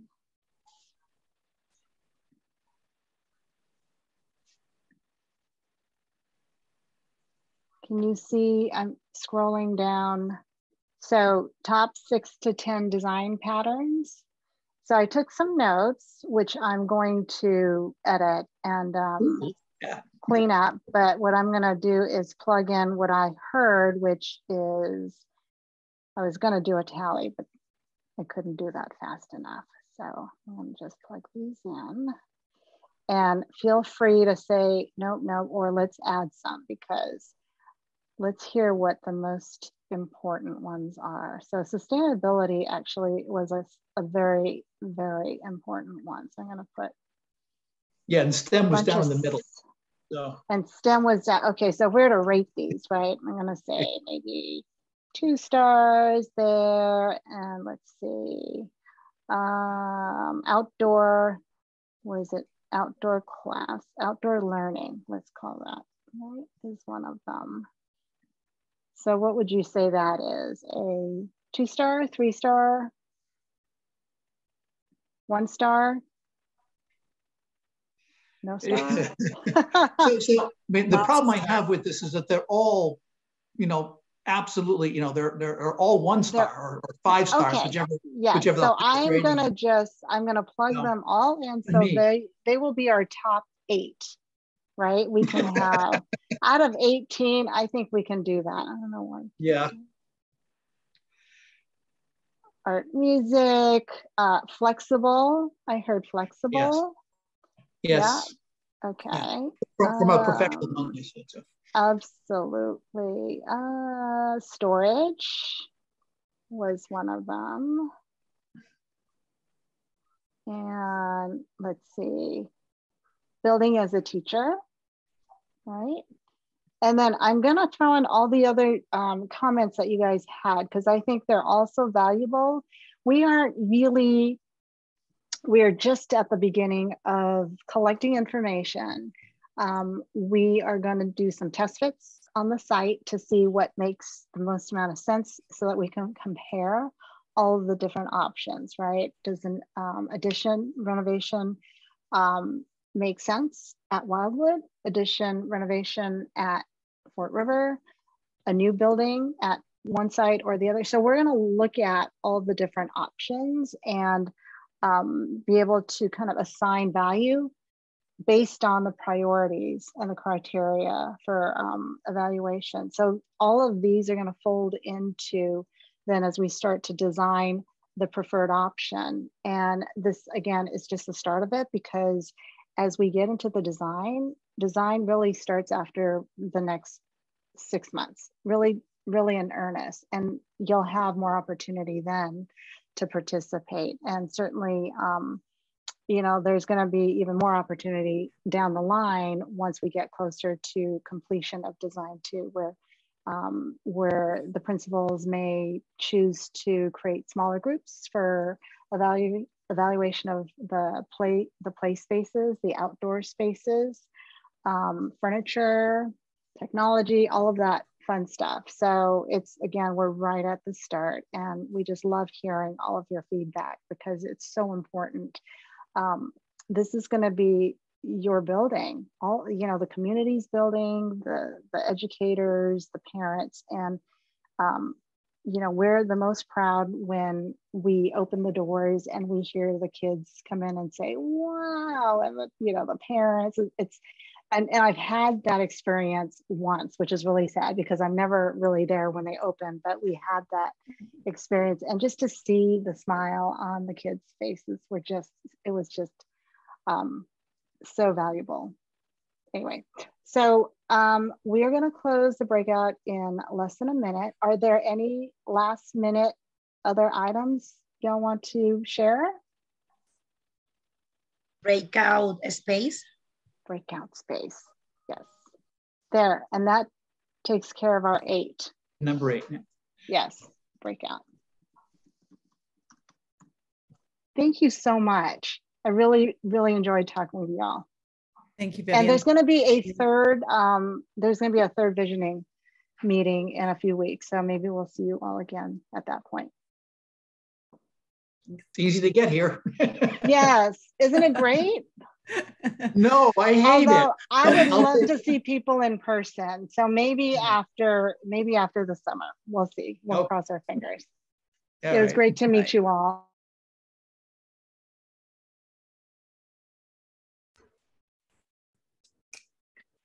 Hi, Tim. Hi, Tony. How are you? Good. How are you? I'm doing great. It was actually exciting. You got really good engagement and a lot of people with uh, very informed opinions. Uh, it's uh, I uh, I serve on the building committee in my town. We're doing an elementary school too, and uh, this is refreshing com- compared to what I deal with at home. Yeah. Good. Hi. I'm Tim. There, how are you doing? Hello. So uh, this is your opportunity. If you have uh, strong opinions about anything that you've seen tonight or the project in general, to uh, let them be known. Um, I mean, obviously, I can't promise, promise that everything you say is going to be included in the project, but you know, this is our process for listening to as many people as we can, increasing the bandwidth, just having a discussion with everyone, so that you know the ideas come through in more than a sentence. So there's some nuance, some explanation, if that's available, uh, and then we can relay that to the rest of the design team. Uh, and then, obviously, if you get bored with this conversation, you can go back to the main conversation where Mike and Don will be talking about big picture issues. But we can also talk about big picture issues here, um, and they will be um, considered by the entire team. Um, I don't really have a jumping off point other than what um, David has been talking about. But if any of you have a particular interest aspect, uh, something that you want to see in the project or don't want to see in the project, have at it. I look at this list and just kind of wonder, you know, like I'm just, I'm not an educator. Um, there are things that I like on this list and, you know, those are interesting to me. I don't know that they should guide. You know, I wonder what the, like, at what point does the administration or the educators, and I, obviously they've already, I mean, you've been having these conversations, but how does their input shape this versus ours? I mean, I, you know, like a cafetorium sounds great, but you ask me tomorrow, it might be number 10 on my list. Like, I don't know. Yeah. Um, You know what I mean? No, understood. And honestly, it's a, a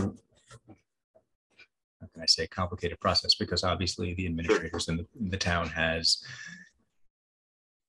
a fair amount of say and and but this is a school for the entire community and we're trying to listen to everybody and accommodate everything. But you know, specifically you mentioned the cafetorium. Almost all elementary schools that are built in partnership with the MSBA these days have a cafetorium because they understand um, the importance of arts in the education. It's funded by the MSBA as part of their core curriculum, um, but they don't fund auditorium, as David said. So um, a lot of the things that were mentioned in this list are going to be part of the project. It's just the way things are done. Um, but we are looking to see what is particularly important to Amherst so that it can come to the fore in the project. Um, and maybe time, energy, resources are spent more in that space or that relationship. Um, I will say that in almost every meeting, repeatedly, we hear about the importance of outdoor learning space. Um, and, that, and we haven't designed anything yet, but when we do, uh, I'm absolutely certain that it's going to come clear that we heard you loud and clear because, well, one, you have two sites, which is lucky, uh, but both of them are really well suited and um, large. I mean, I'll give you a background. A lot of the schools I've done are in urban neighborhoods, so this is, this is different. But um, but there is opportunity to bring those things into the program. So we're listening to you say things like that that we can, you know, then make real in the final project. Got it. Thanks. Tim, I'm just wondering about some of the um, classroom neighborhood areas, the breakout spaces, extended learning spaces. It, how do you bring daylight into them? Um, if you know, if the classrooms are on the outside of the building, mm-hmm. I'm I'm looking at some of these spaces, and a lot of them in the pictures seem to be um, like artificial light. Mm-hmm. So, is there a way to bring, like, if they're on the ground floor and it's a two-story building, for example, how do you bring natural light into those inner spaces for shared group work? Sure. Uh, and that is uh, a lot of thought will be given that during design. So as you mentioned, a two-story building, sometimes um, we are capable of uh, skylights and bringing natural light through openings in the floor to the first floor in common spaces. Um, but we have lots of other means. Um, it comes down to glass at the side lights of doors between the classrooms and the common areas, or simply orienting the breakout spaces, the project learning areas in between the classrooms at the exterior wall. I mean, all of these things have considerations that need to be weighed against other priorities. If you take the pull-out learning spaces, the small group instruction spaces, and put them at the exterior wall, obviously you're going to make the building a little bit larger. So there's efficiency implications, there's cost implications. Uh, but I mentioned outdoor learning. Uh, just as much as that, we've heard daylighting from people in Amherst uh, to an extent, honestly, that um, it's always important. It has quantifiable effects on everything, and, and no one disputes that. But we've heard it as a, a real priority from Amherst. Um, and so we will strive to include it. And then it, it affects everything. Uh, you mentioned a two-story building. Uh, if it's a single-story building, as Wildwood in Fort River are now, it tends to pancake a bit. Um, so the very middle of those buildings, if there's not light from above, which there isn't really now, uh, you're not going to get natural light. So um, if we reuse the buildings, there's probably going to have to be a lot of structural interventions to get light in, maybe remove parts so it's not as deep. Um, there are a lot of tools that we have to get light into the building, but we have to weigh them against all the other priorities that include efficiency, adjacencies of spaces, um, you know, time on learning as it's affected by kids moving from one end of the building to the other. And, you know, simple things as costs, which we don't like to admit are real, but they are. So.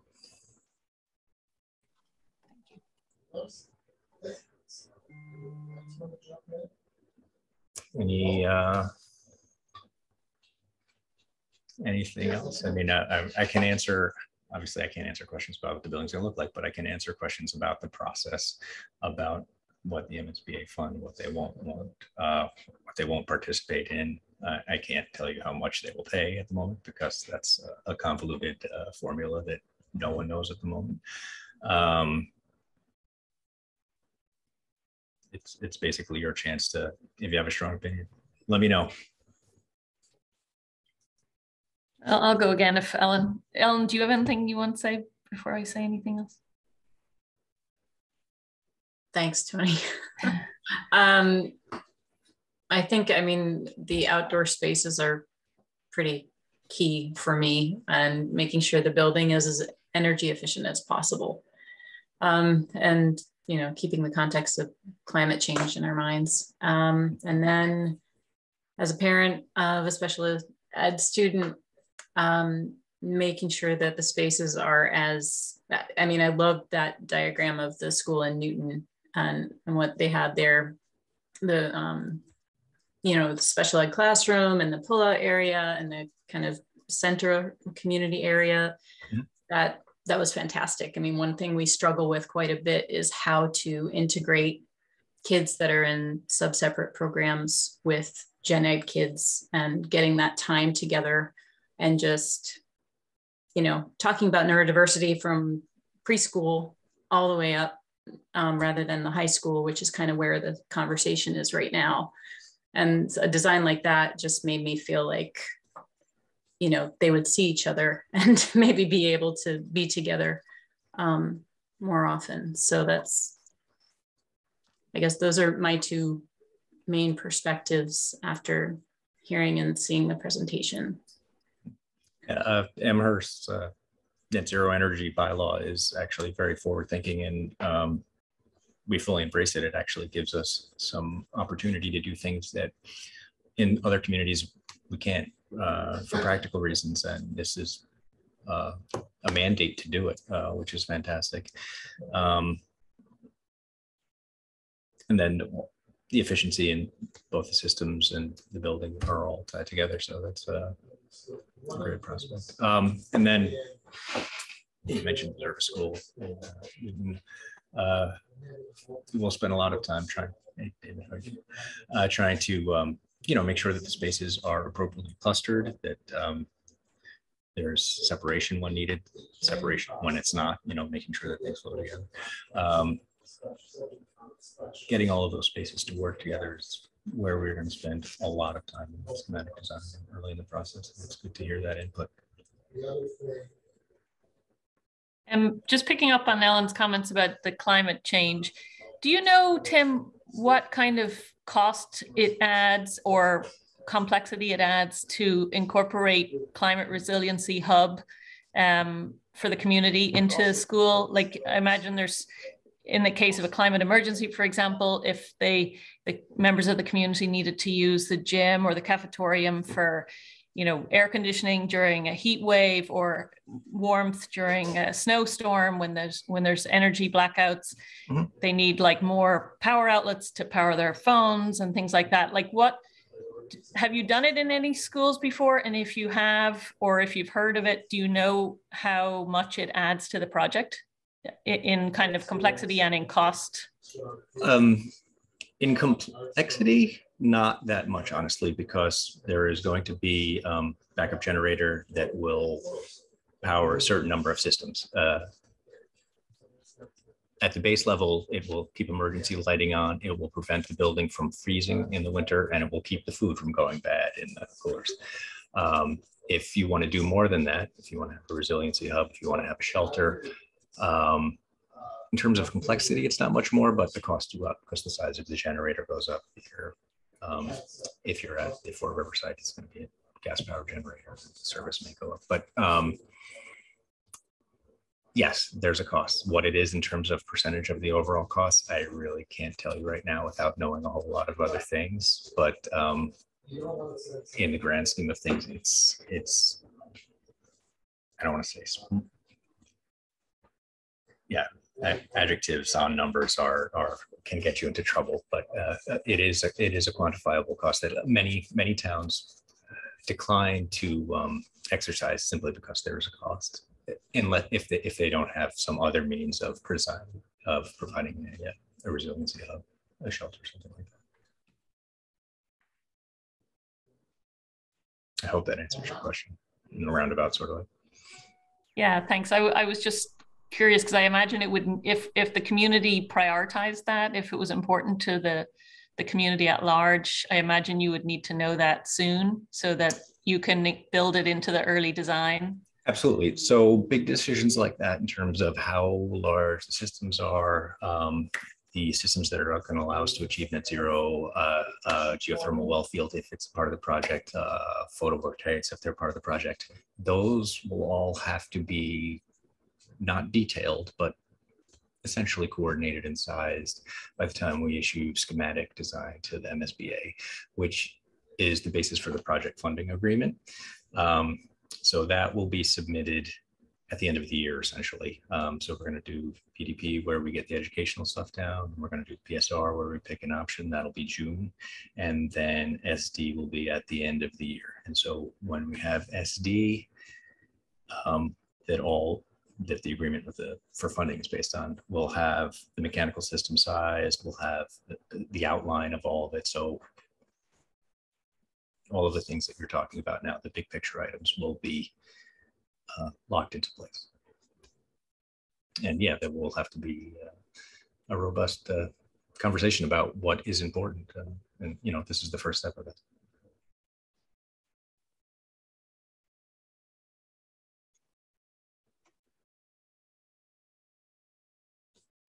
And how many of these school projects have you personally worked on? Uh, personally worked on. So I've worked on a bunch from start to finish in this role. This is my third. Um, I did, I just completed one in Springfield, did one in Woburn, um, and then worked on a bunch in various capacities. And then I had a whole other career other architecture stuff before schools. Mhm. Does the MSBA still, is, do they have the capacity to throw any uh, last minute surprises in? Or do you kind of have it down? Um, the thing about the MSBA is last minute surprises are so thoroughly beaten out of the process by the bureaucracy that um, th- they have their quirks. They have things that don't necessarily make sense if you were to do it over again. But um, last minute surprises is not one of the things that they do. They, you know, you you you know when you're going to do stuff with them a year ahead of time. Um, a, a bigger complaint uh, about the MSBA, not to complain about someone who's going to give you quite a bit of money for your project, but, um, is that they take too long because they're state state agency. It's, That's that's what they're good at. But uh, they're very thorough. Uh, they do a great job for a lot of communities, and they build wonderful schools. So um, that is thanks. That is the cost. Should we go back to the main group or should we, is there Sure. anything else you need from us, Tim, or? or No, uh, Maybe uh, I, If, if you have anything else, um, absolutely, but, uh, also at any time, feel free to go back. Uh, well, thank you for your time. thank you for coming tonight.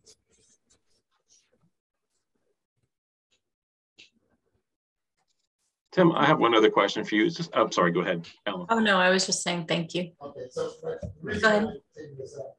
Um, is, is this process, normal, having done several of these things, is this process of engaging with parents in this way, albeit under normal circumstances, you might do it in person, but is Yes, this normal part of the process or is this an amorous part of the process?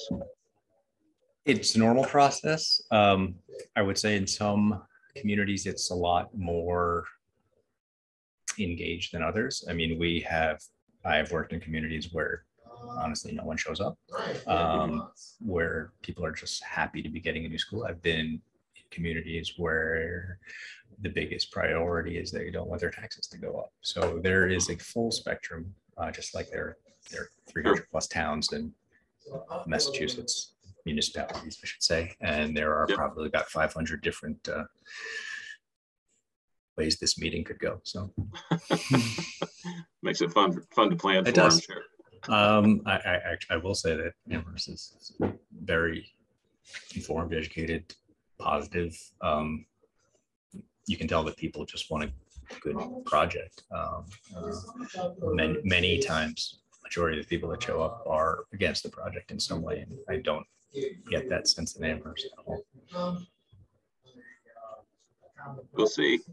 Yeah, yeah, well, we haven't met everyone yet, so. Uh, um, yeah, I- e- even those voices are good because they, they keep our feet to the fire. They make us, uh, you know, they hold us to the highest possible standard. I mean, that's, that's what you do when you're against something. We accept that and we actually encourage it because it makes the project better. Well, I appreciate it. Thanks for doing this. Yep, no problem. I'm going to leave the room and join the big room, but this has been good. Thanks. Yep.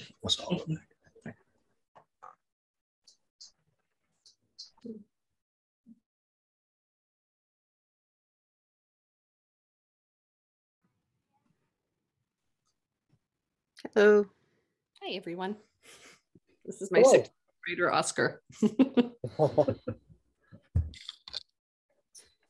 So Brian, you're gonna be able to take notes here? I am. I'm ready. Okay.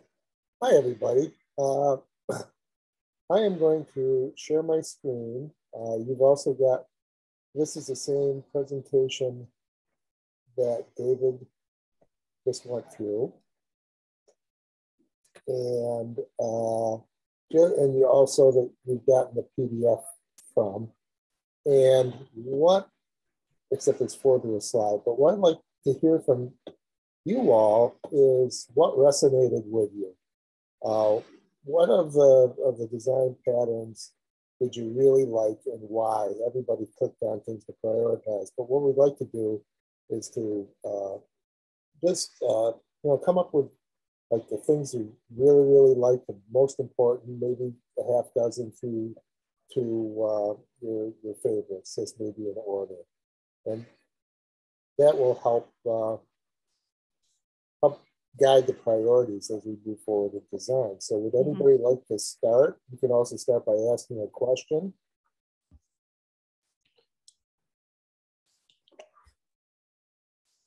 You can I go ahead. I can take a crack at it. Sure. Um, so the outdoor learning spaces I put at the top in part because we don't know how long COVID is going to be around or the next pandemic or just in general. I think, you know, having the ability to be outside, um, regardless of what kind of precipitation is, is I think a really nice option. Um, the the second thing that struck me is um it sounds it's like a little bit fear based but the the you know i think um in the wake of sandy hook a lot of us were really um keenly aware of the the problems with fort river and wildwood in terms of safety. Um and you know i feel like the school has had to make accommodations. So now you know you like push a little buzzer and there's a camera and you know it's like kind of the opposite of feeling welcoming. So that idea of welcoming yet safe um, i think is really important um, for our student body. Um, and then so sustainability is important to me and um, i love the idea of the building as teacher um, I just think there are a ton of opportunities there for, you know, creating lifelong awareness of the built environment and how we interact with it and the impact it has on the environment. So that just seems totally cool. Um, and then I guess I had a a little bit of a question about that, which is um, at one point I was talking with an architect friend about the fact that we have a net zero bylaw in Amherst. And she was like, whew, okay, like you're not going to have a school with a lot of bells and whistles. Mm-hmm. Like you're not going to have beautiful wooden ceilings because just making the building net zero is going to like eat up all the costs. So it's going to be like a pretty basic rudimentary structure with like kind of the cheapest materials because getting to like the net zero is going to require a ton of you know capital so i would love to hear a reaction to that from the architects in the house That's, Um, I'm happy to say right off the top that that's not necessarily the case. Certainly, certainly somebody might approach it like that, but it's it's uh, possible to have uh, to have exciting, inviting uh, buildings that you're enthusiastic about that happen to be net zero or even uh, you know net zero positive. Uh, There are a number of projects on on on tap. We've had a couple of recent successes in that manner. So you know, it's you know, I had a professor in college that said everything's possible, and that's the problem. Uh, it's it's establishing priorities. Net zero is a, a fact of life, but it doesn't shut the door to everything else that we're talking about. Sure, if your idea to having outdoor learning is to have a 10 by 12 roll up door in every classroom, that's going to make net zero pretty hard to, to achieve. That's also pretty hard to meet the basic energy code doing that too. So it's all it's all a balance, but it doesn't mean you have to give up one for another. and then i didn't say this but because it seems like it's just implicit but to me the you know the daylighting and just like bringing daylight into as many corners of the building seems just so important I have a, there's- my sister-in-law is a school nurse and, you know, she spends Mhm. her day in a dark cubby in the interior of one of these buildings and it just, it's just soul crushing. There actually used to be a LEED credit, and I, it was first time I saw a LEED before, you know what we talked about, we mentioned LEED. But it, it was for having stairways that were bright and inviting and made people want to use them instead of using the elevator. And it, rec- it recognized, it recognized that light is good, views are good. You can turn something that, you know, and certainly there are a lot of 60s examples that are a silo with steps in it, uh, but turn it into a learning environment with vistas and views. And that can be a way to get, there's a question about what was borrowed light, but introduce borrowed light into a corridor that may not have it by having elements like stairways be very bright and inviting and transparent. Mhm. Well, that was a, that's a good start. Anybody else want to jump in? Nicole? Hi, can you can you hear me all right? Yes, I can.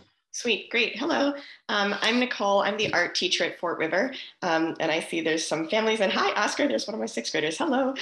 Um, uh, so one of the things that um, one of one of the realities that we're facing in Amherst right now, definitely at Fort River, but I know this is true in all the schools, is that um, with the way that the schedules are squeezed and teachers have been sort of like contorted into not having a lot of time and, and the buildings are pretty sprawled out one of the sort of struggle points both in terms of like building logistics but also in like um, student sort of like wayfinding but also like mental transitions throughout the day is that there's a huge amount of distance between um, classrooms and the spaces that the entire school needs to use. Uh, Mhm. right now at Fort River, the library is the most cent- most central place, which is awesome. But like the music and tech spaces and Yeah. and cafeterias are like these way remote, like far away things and the transition time is really hard to build into our schedule and transitions are the time when student behaviors are the most likely to explode. Um, like statistically if you look at um, behavior patterns in the schools transitions are one of the biggest struggle points for a lot of students.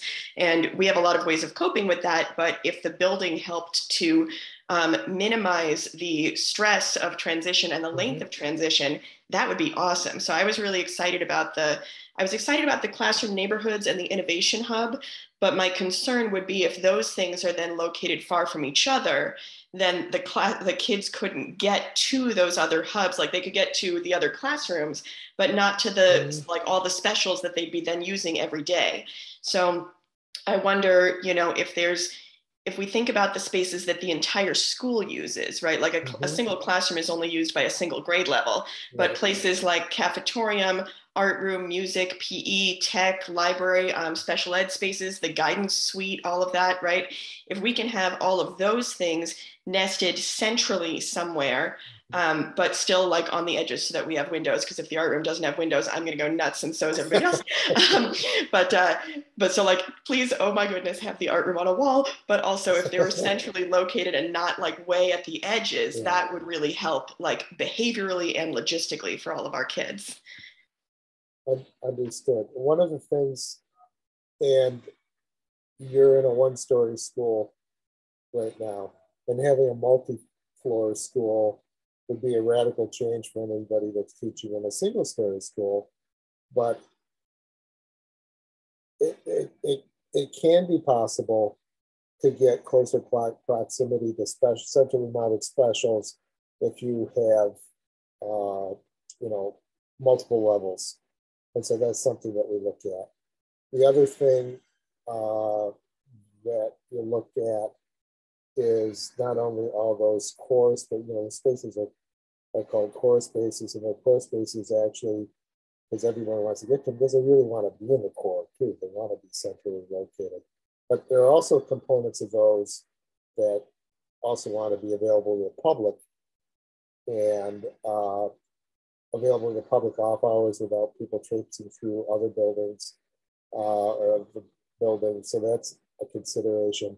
And this is all a very, a very uh, delicate dance about pri- priorities, and we'll also be talking eventually as we get into design about adjacencies. Uh, K-5 schools that have a strong theater uh, arts program might try to get the arts and music rooms at the back of the cafeteria very close so they become green rooms. And, and so that starts to, to gather uh, you know, the arts together and put them in a location that's, that's, uh, that's centrally located. Uh, so yeah, I hear you. It's uh, one thing that the classroom uh, concept of a cluster concept of neighborhood does it also stops the school from having a million mile long corridor and which, which can be oppressive. But you're right. It, it's a it, you don't want to send somebody to the other end of the building because that's an opportunity for mayhem. Uh, and we'll be working together to, to develop the adjacencies and, and come up with plans that, that would work. Awesome. Yeah, I remember, um, you know, years ago when we went through this process before, they had uh, like a pair of art rooms on the second floor, kind of above um, a lot of other main spaces. And I, I totally loved that idea. The art rooms mm-hmm. had a mm-hmm. balcony. Um, it was uh-huh. amazing. Um, but uh, yeah, whenever um, I, I would hereby like to volunteer that whenever you're ready to discuss adjacencies, I would like to be at the table whenever you're ready to have teacher input on that. so noted. How about any, any anything else? Anybody else think of anything? Uh, something something new you want to add? Any questions for me?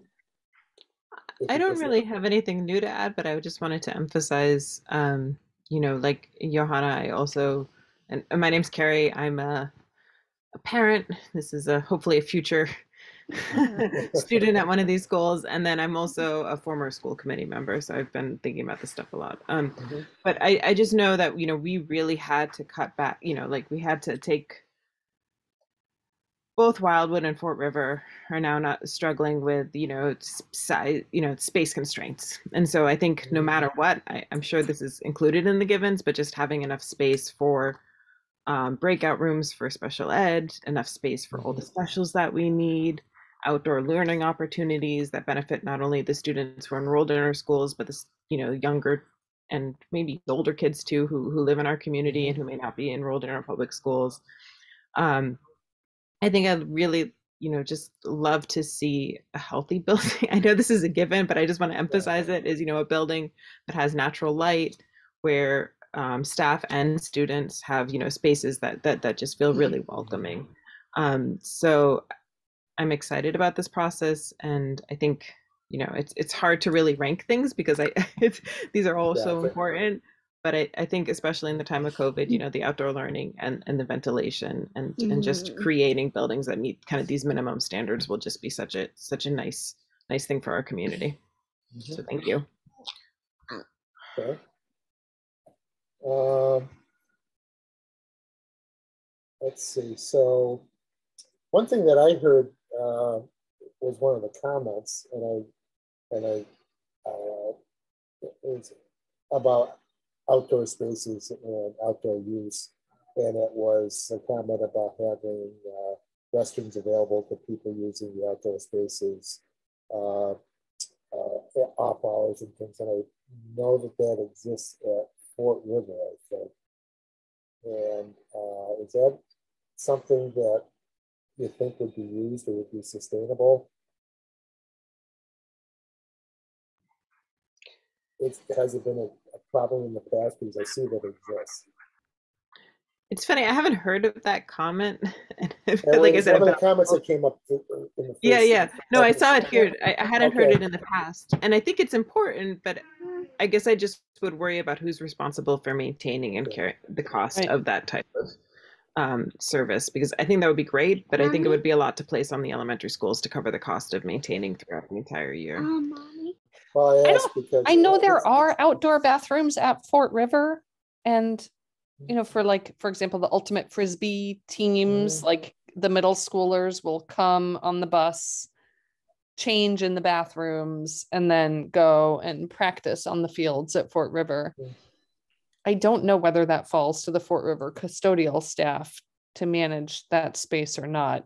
Um, Usually they don't change in the bathrooms. No, and I'm pretty sure they don't. Nope. Usually, you, usually the bathrooms are in horrible shape. Yeah, half of the time they're closed up. Okay, too. and half the time so they're my- closed up. The reason why I'm taking this opportunity to ask is it's the first time I've ever seen a comment like, comment like that. And I, and I knew that it existed at Fort River. And I just wanted to get some spin if, if that was a voice for like, oh yeah, that's, that's a big deal. That's an amenity that, that's worked out great. But, okay, thanks, thanks for just filling in a little bit on that.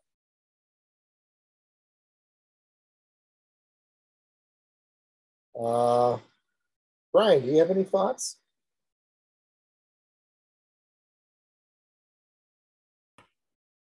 I'm just following along with everyone else. Okay. So let's see. So outdoor learning. Uh, go to page.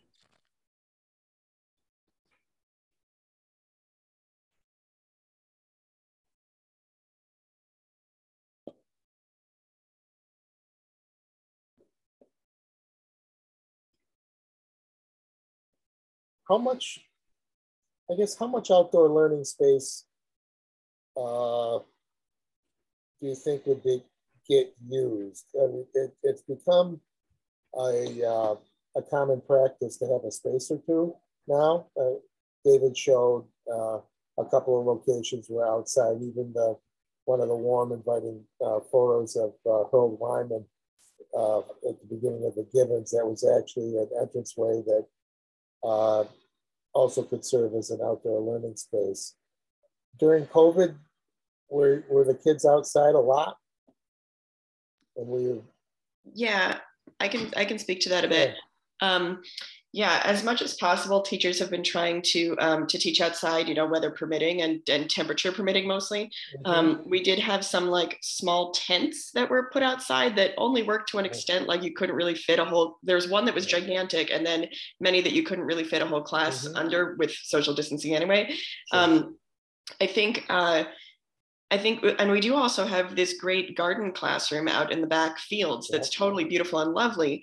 Um, and for instance, I would do a lot more like outdoor nature sketching if my room weren't on the complete opposite corner from it, right? Mm-hmm. It's like it's quite a ways away from most classrooms, including some of the ones who might otherwise use it the most.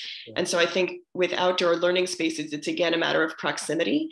Like I think having multiple if, you know, in my wildest dreams, I have no idea if this, if the like surface area accounts for this, but there would be like several adjacent outdoor classrooms around the edge of the building so that whoever's nearby can use whichever one is closest to them and not have to like, you know, walk all around the whole building to go get to it. Cause I don't know, like art class is only 40 minutes these days, but who know, maybe that'll change in my wildest dreams. I don't know. Um, but like, 15 minutes getting everybody there and settled in there. Yeah, exactly. Yeah. And um, and you know, uh, another thing that I've seen work really well at summer camps actually is like um, is like covered porch style learning spaces where uh, it's not like a freestanding pavilion, but it's like if you imagine just a really spectacularly gigantic covered porch pergola type object, such that you could have a whole classroom's worth of floor area under a, a waterproof roof, and then you could be outside even when it's warm and rainy, for instance. Um, that kind of thing would be right next to the building because it would lean against the building, have a door to the inside, but then still be usable no matter the weather. Um, and that kind of thing I've seen work really, really well. Good ideas. Thank you. I'd also like to mention that, I mean, and hopefully we won't be in this place when this building's built, but outdoor eating's been really important. And I can't, I mean, for me personally, like when I take a break at Mhm. lunch to take a walk or just to get outdoors, it's always nice. And I imagine it's the same thing for students. And we, I know that there's been an emphasis on trying to get kids to, you know, take lunch outdoors for safety right now, but I can't imagine that we'd want to completely eliminate that in the future. So I don't know if there's a way to connect the cafeteria to outdoor space as well. Okay.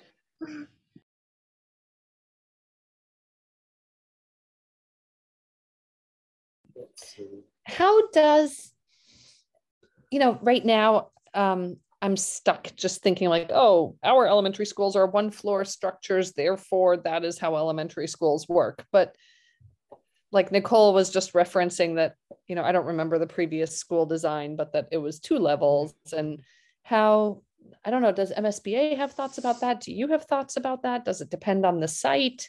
It seems like a much more efficient use of total area to have it be two stories, but a two-story building uh, or more, I don't want to freak you out, but we've done a number of three-story K-5 buildings in the last few years. And very often, uh, and, and that can be a big departure for people that are coming out of a 1957 one-story building to mm-hmm. be confronted with a three-story building.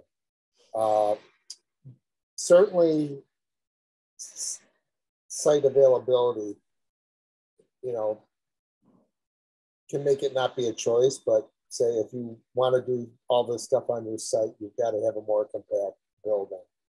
It is, you can zone it. Um, we've put gymnasiums on second floor over cafeterias.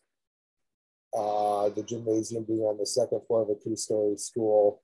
So that's, you know, one flight up, one flight down, or, or, uh, you know, a horizontal jump to it. So there can be, uh, it can, it can make the building easier to get from point A to point B. It can, granted, be larger on the site than what you're used to. It can be very different than what you're used to as far as being a one-story, one-story building. And so change, when confronting with change, it's something that you got to get brought along on. But it's also a, a multiple story building is more compact and it's it's environmentally friendlier. You've got less surface area. It's easier to make your your energy loss calculations. You don't have as much roof and as much outside wall.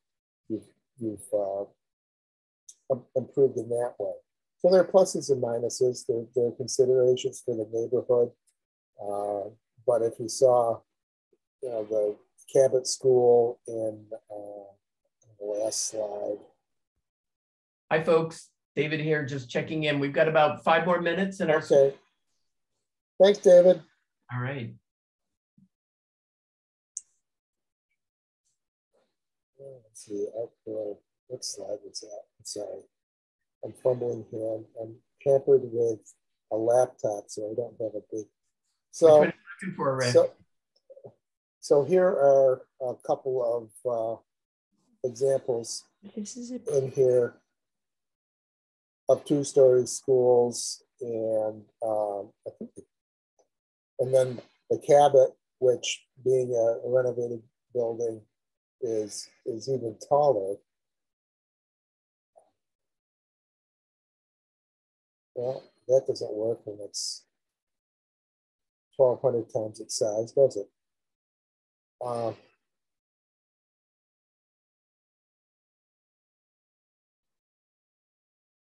yeah, I'll, I'll lose the outdoor learning slide. Back up one. So,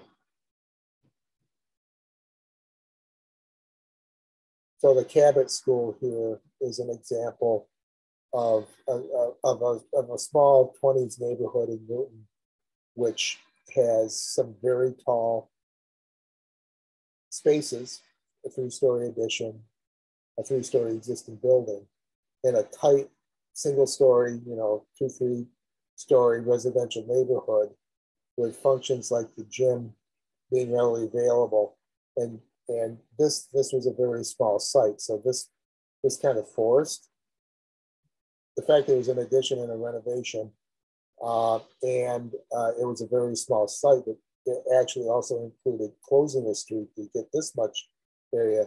is a way that uh, you get all the function on the site, you get small travel distances, you can zone the building, and it's still, it's kind of a different type of feel than what you've got. Now, you're not starting with a three-story building, so any of your addition renovation schemes you know, wouldn't be a three-story addition next to a single-story building, but it wouldn't be unheard of if there wasn't a, a, an addition renovation scheme that there might be a two-story addition to a one-story building or something like that. So it's all things to be considered, and we'll be flipping through all of those permutations as we go through.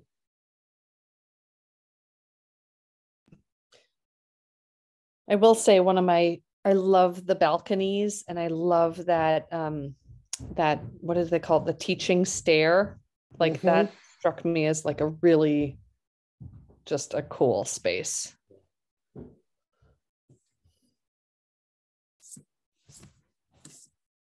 Okay, um, I apologize for stumbling through that visual example. Uh,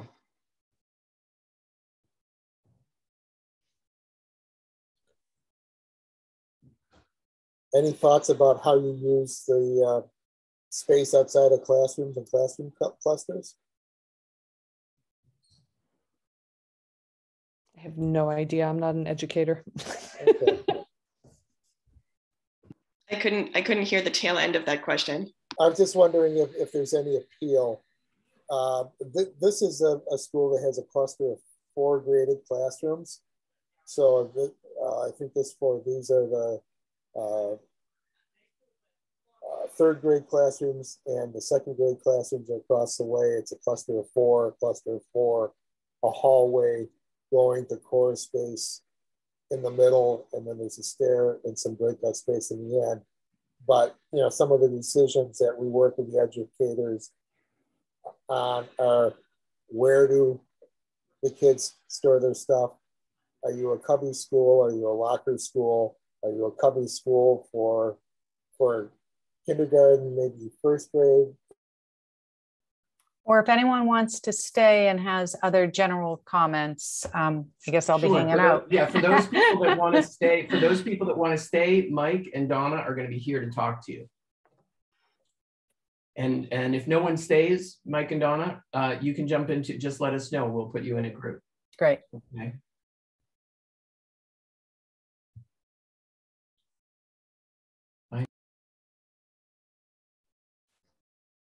Hi. Hi, Sarah. How are you? I'm actually uh, um, have to leave to go do bedtime with Oh. my guys in kindergartner. So, um, but this was a really terrific presentation. Thank you. Um, very happy to be here. Yeah, thank you. And we have a community forum coming up, which we'll talk a little bit more about the project itself, sustainability, and um, how we're going to evaluate and rank the options, et cetera. So um, I hope you continue to join Great. us. Yep. Um, and Sarah, if you have any questions for me, sorry, I was at a Pelham School Committee meeting, but I'm here now. I'm Mike, and you get enough emails from me where you know how to get in touch easily with uh, me by replying to any of my many. Uh, but you know, if there's any questions you had that you would have wanted to jump in on, you know, please do get in touch with me. And I'm in Thank frequent you. communication with the design team. I'm happy to to share your, you know, your feedback or answer your question. Make sure the design team sees it as well. And I saw a lot of friends here on the um, on the Zoom, so it's good to see a lot of people. So thank you. Thanks for doing this at night and for all your work. Good night. Good luck. Good with the night. Bye.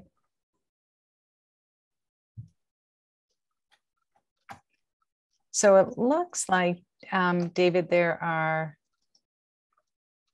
a few Yeah, I'm gonna, I'm gonna visit each group to make sure that they're okay. It looks like these folks are staying in the larger group. So we've got, we've got about four people, four or five people in each group.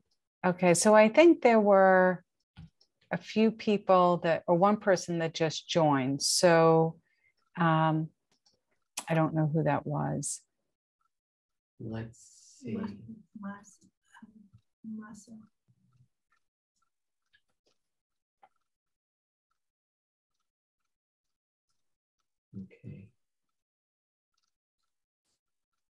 All right, well, I'm going to go visit, um, visit the groups. If anybody is, is there anybody in this larger group that would like to go to a small group to talk about? Oh, Sarah, you had your hand up. Oh, no. Go That's ahead, just a finish your. Okay, all right, good, good. All right, um, I think I'll probably jump into a small group. Um, Okay. Would you like Join it. to- I, if it's, I'm in four, group four, if that helps. Uh, actually, But- yeah, what, yeah, but there's no one there. So we're gonna put you, we're gonna put you in group, um, in group three. You'll get an All right. invite. I will join in them. Should I do not now for group four? Oh, there it goes. Okay. Yeah. but I just wanted to hang with this group for just a minute because I, I, I know there were some things discussed um, in a kind of very specific thing at the last meeting, and and I think this might be the more appropriate group to talk to about it. Um, so I don't know if it's if, if anybody else had anything or if I should just hop into what I wanted to say. Go ahead.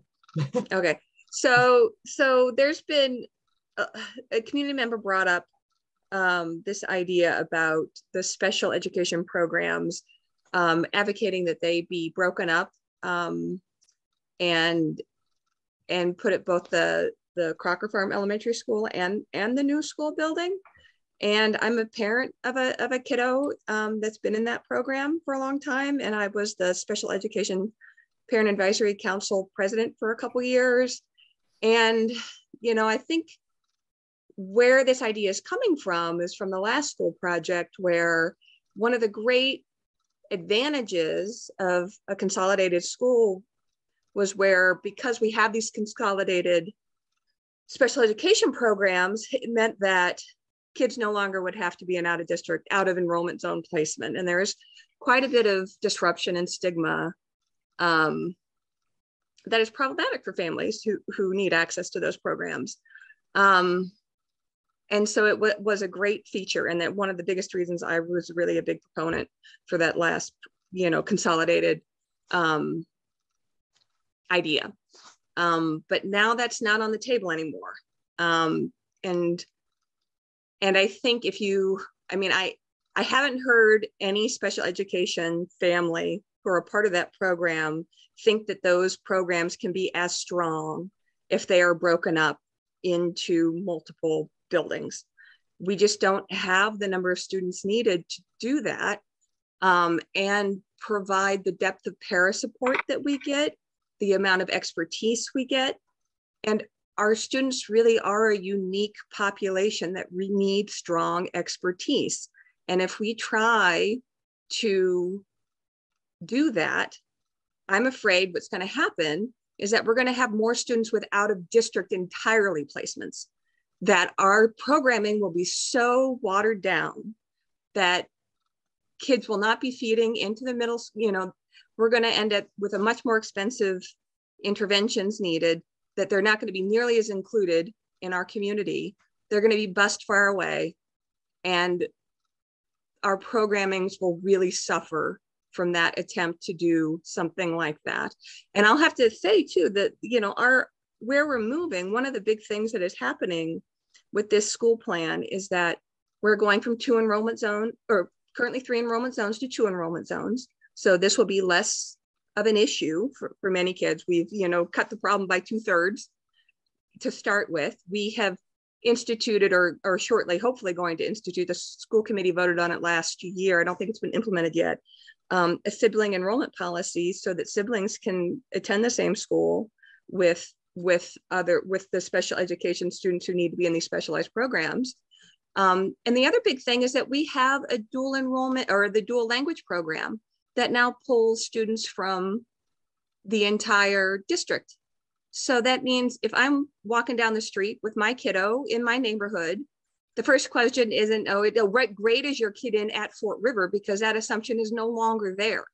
Because of the dual, and dual language enrollment thing, you can be in a school that is not your quote neighborhood school anymore and it and it can be for something other than special education which takes away a ton of the stigma ton of the assumption ton of the just like assumption that you're going to go to the school on the corner because that's not true and now it becomes a much more equitable way to access our school system because of the existence of that dual language program.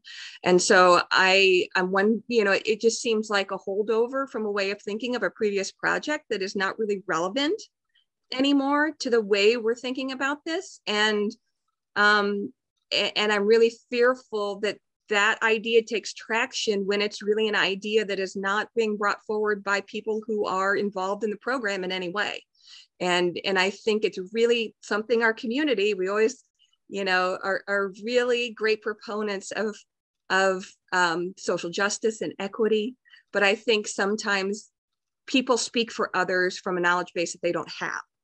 And it's really important to let the voices of the people who have experience with these issues have the floor. And I really hope that that idea, the idea of needing to divide up these these takes any traction because I don't, I really don't think it's a good one. I don't think it's coming from a place of knowledge or intensity or lived experience. And I, I hope that the folks, um, I hope that idea doesn't go anywhere because I don't think it's a sound idea in this context. So I talked a long time. Sorry. No, Anyone? Heather, it's okay. Can I jump in, David? Is that okay? Um, so I'm going to speak uh, because I agree with a lot of what you said. I'll, I'll try to be succinct. Um, and there may be other people with other questions. This was talked about at the school committee uh, slightly pre-pandemic, which you know years all blend together. Um, but uh, and folks came up with a lot of the same perspectives you did, and particularly the staff, because we are looking at one program in particular and potentially splitting it unrelated to a building project. And I met with the staff, and the staff said, look, we can't offer the same level of programming if we're in two different places. We just can't, right? We have two classrooms for a subset of students that, in theory, have similar needs, but in reality, the range of needs in those programs is, is much more significant than the layperson might believe. Yes, a program might be for students with um, complex and multiple disabilities and intellectual disabilities. The range of that group of students is huge, and they're able to group students in ways that are really thoughtful. Uh, and also, there are sometimes students who don't shouldn't be in the same room, right? You know, so the idea of having two rooms in the same school is no one has to change schools if that happens. The dynamic can be done. So, so we talked about that a while ago. Uh, the more practical nuts and bolts reason is there's just frankly not going to be space at Crocker Farm to have uh, the program set up that way. So, but what we heard from staff is the level of collabor- collaboration, uh, expertise that different staff members would bring if the programs were split in that dynamic, which is to your point, Heather, very different than the prior project where all the second through sixth graders be in one place. So that there's nothing comparable in this setting. Um, and so we heard that feedback loud and clear. And I think something I said at the last school committee meeting was, you know, when we have our educators very clearly stating this is a model that that is working for our students. And if we split the program, we won't be able to do that. Remembering that elementary school is sixth grade levels, which is another point they raised, that they're able to do a younger kid cohort and an older kid cohort and, and how valuable that is. So at this point, there's no plans to, I wasn't, I'm sorry, I was at a Pelham School Committee meeting. I was not able to be at the first part of this meeting, but the same thing came up at the prior meeting as well, um, the prior community meeting. And uh, I'll do a little more detail because it came up at school committee as well, but there are no plans to relocate um, specialized programs uh, in general. Um, you know, that the preschool we imagine will stay at Crocker Farm is nicely designed spaces for that program. Um, and for Building Blocks Ames um, and the ILC, uh, to position them. And I think the other access point is that we want those students. Sorry, I'm not going to be succinct as I promised. Sorry, Heather. Um, but the other point that that we I thought about since is we want all of the students to have access to our Caminantes programs or in the specialized programs. And if we split them, we're adding a like a matrix of decision making of what school different kids go to, and it could eliminate access or reduce access to being part of a program that can be absolutely wonderful for students in specialized programs who also want to be connected or cultural connections to uh, um, Spanish language and, and cultural aspects of that. So this point, that's not in the plans. I just want to be really clear. So, um, you know, I think I, I heard that feedback a couple times. Uh, we've talked about it multiple times over the last three years at school committee, unrelated to a building project, and nothing at this point is convincing us that splitting the programs in the best interest of children. Sorry, less succinct than I hoped, but but it's a worthwhile point to not be succinct about. I think so.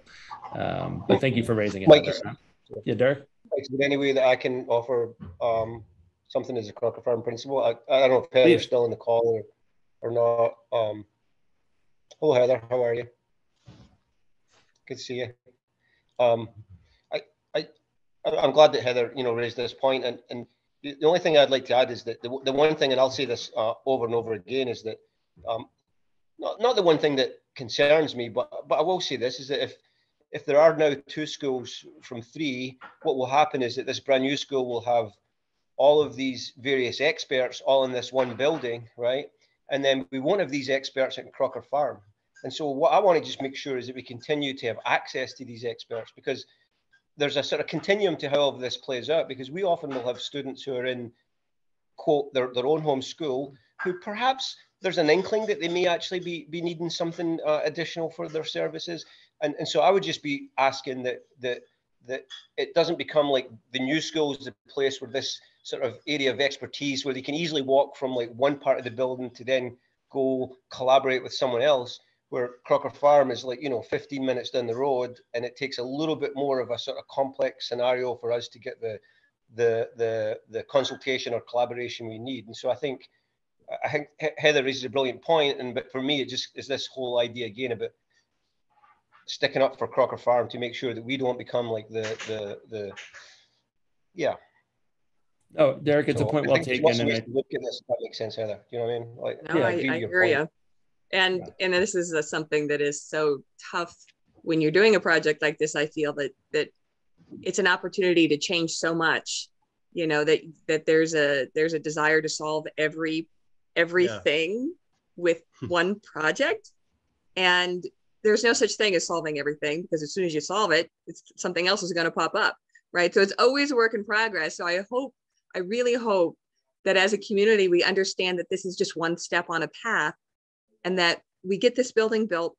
We keep saying yes. We keep working on our programming. We keep doing all the things we need to do to evolve as a community but knowing that we need some physical infrastructure to support that and it has to be better than what we have now. And and i really hope we don't get hung up on on solving every problem in that in a way that keeps us from from solving a lot of problems yeah, and, and, I think the last thing I'll say, and then open it up, because I think Derek's point's a good one, and, and thanks Heather for that, is that uh, something that I continue to say at every meeting. I think Donna can correct me if I'm wrong. Is this building's designed for 50 years, right? I don't know what our programs are going to look like 20 years from now, 30 years from now, probably 10 years from now, right? Kids' needs are going to evolve, and we'll have to see that. Am I making commitment that there'll never be a specialized program at Crocker Farm? Absolutely not.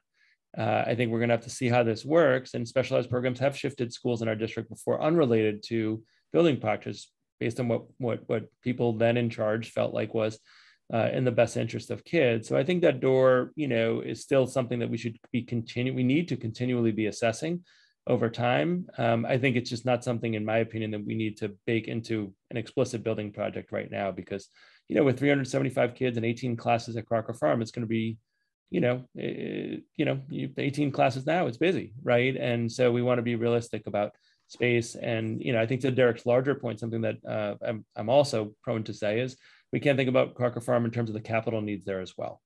That we, what we don't want to have is kind of repeating the errors of the past where a new school gets done and the other schools get ignored until they have like a major infrastructure project um, that Crocker Farm does have ongoing needs that do affect the accessibility of students. You know, we have an ADA report from three years ago. We just talked about that in Pelham, actually, our progress towards it, um, that, that continues to need to evolve and support students because there will be students with special needs at Crocker Farm, a significant quantity throughout time. So um, appreciate the conversation and thanks for bringing it up, Heather. Mike, I just want to make sure we say that we're talking 23 classes at Crocker Farm because when you add the five preschool classes, right, the number goes up by another 50 or 60. So it's it's a fairly yeah, yeah. Hmm. absolutely. Hi, Sarah. Thanks. Um, so my question is, uh, I guess from a much higher higher level, looking at these 18 slides of, I guess, functional aspects of design and and they and all those schools look so spacious and so well lit. And I'm thinking, how big is this building going to be? or how big does it need to be or can it be given our enrollment sizes? And is there any possibility that we would need a, uh, a two-story building to to um, make all the space that we need and the different kinds of space. And if it's not, if they're still one going to be one story buildings, are will they be significantly expanding in the site? Or is it just too soon to, to say Well, no, no, thank you. And, you know, it, it is going to be a relatively large school. Um, the square footage we're, we're still navigating right now. Um, the Mass School Building Authority, MSBA, want, will weigh in on what spaces are absolutely necessary, what aren't. They have guidelines. Um, for example, a classroom somewhere between 900 and 1,000 square feet and art rooms 1,000, right? So they kind of keep us in check on what's an appropriate square footage for spaces. Um, so you're not just building a Taj Mahal, right? So that that you're really utilizing the money for educational purposes. So so that's great. Um, what what we and so once we have the educational program and understand the needs, special ed plays a, a large part in that. So once we understand all of those programmatic needs, MSBA will say, well, the overall square footage of your building can only be 1.5 um, kind of it's called grossing factor above and beyond your educational program needs. And so we need to stay within that. So we need to design a very efficient building, regardless of how big it is or, or how many classrooms you need or a program space you need. We can safely say um, either site, it's not going to matter. You don't have swing space for the students, right? So you're going to have to build the new school or renovate and expand the school, how, what, however it's going to play out, um, while the other school is in existence. So when you start peeling back the layers and of, of the site and all of the site constraints, et cetera, et cetera, um, and taking into consideration wanting outdoor learning spaces, et cetera, that I can safely say it's definitely going to be at least a two story building. Um, but that isn't, it's funny, I was talking to David, you know, at DiNisco, we've designed, I, I don't know, I, I, feel like hundreds of schools. I, I cannot recall a school that we've designed that was a single story school, right? Um, outdoor space is so important for so many other reasons that um, putting a footprint of a very large building is probably not the best use of space. And we've learned that the travel time on an 80,000 square foot building that you currently have actually takes longer on a single story than if it's vertical. So the kids, it actually is quicker to traverse through a school if it's actually on two stories. So the time on learning we always look at and make sure that we maximize the classroom spaces. Um, so that's our current thinking. Uh, right now, we have investigated the sites, understanding where we can build. Fort River, as you know, or maybe you don't know, um, has some wetlands and some other complications. If we're doing net zero, we're looking at is it going to be a geothermal system or is it going to be VRF? If it's geothermal, we're going to even need more land to, to put the ground source heat pump. So uh, we're starting to learn and uh, understand all the site attributes and constraints, which will then help us inform how many stories the building needs to be. But I can probably safely say it's going to be more than one story. That helps. Sorry, I guess I can't be succinct either. no, no, it's great. Thank you. Thank you my daughter's first school was three stories. It was quite compact and it, was great. Yeah, we obviously we, needed functioning elevators at all times. Yeah, you're going to need a functioning elevator on two stories, right? Right. So, um, but that is really insignificant when you look at the other aspects. Uh, it's a smaller footprint. It's more compact. You don't need as much as many footings, you can go up. So there are really a lot of benefits to a, a multiple story facility. Um, you have actually land. It's a, it's not common that you actually have land that you can build on. We just one of the images in this presentation was the Cabot School in Newton, um, Angier School. I, we had less than two acres, and we had 485 kids that needed to be housed and it was a three-story school. It, you just there, there was just no other way to accommodate all of the program needs and the outdoor needs. And don't forget about parking right? So that's a whole nother layer of complexity when we do this. But yeah i think um, it's rare that we've seen actually i was talking to david earlier i think he was saying that he most of the schools that he's been involved with as well have been multiple stories as well three but Hi, Tony. Hi, thanks. Um, I'm just thinking when you mentioned the three stories, you'll have a smaller roof space on which to put photovoltaic panels. Have you a sense yet of how much space the panels will? Well, I guess you don't because you don't know how much energy the building design is going to need. But if there's some sort of um, if there's a need for a significant array that will not fit on the roof of the building and perhaps not on the parking lot, you know, if there's canopies over the parking lot, have you seen using some sort of shelter for outdoor classrooms, like maybe out in the fields, that could also hold solar panels? So maybe it's you know open on all sides and it's there for the elements, you know, protection from snow and sun and rain, but it could have solar panel, you know, a dual purpose. Um, yeah, have thank you done that? Um, well, we're so we just completed a school in um, Lexington, and it's net zero and it was a large school 645 students three stories we were able to provide enough um, pvs or solar panels between the parking lot and the roof structure for it to be a net zero. That's depending on how many parking spaces you need right? So so we haven't even gotten to that level yet. But if that isn't sufficient, yes, there, there are other ways to look at it. There's even, you can even do a structure or light structure, I should say, over the mechanical equipment to take advantage of, of the rooftop space as well. So we haven't, right, determined the gross square footage of the building to understand what the, you know, how much energy you need to determine how many PVs, but um, we're going to have to, if if needed, we will be as creative as we need to be to make this uh, net zero. Thanks.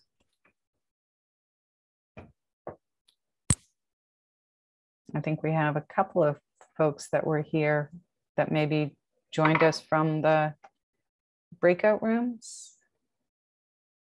Yeah, we've we've still got two breakout rooms in session. I told them that we'd come back in uh, in two two minutes now, eight thirty five.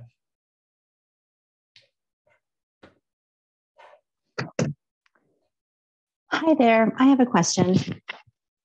Hi, this is Jennifer Shaw. I'm a school committee member, and I received a letter from a constituent who, and this is maybe a silly question, but who asked about central air conditioning in the building.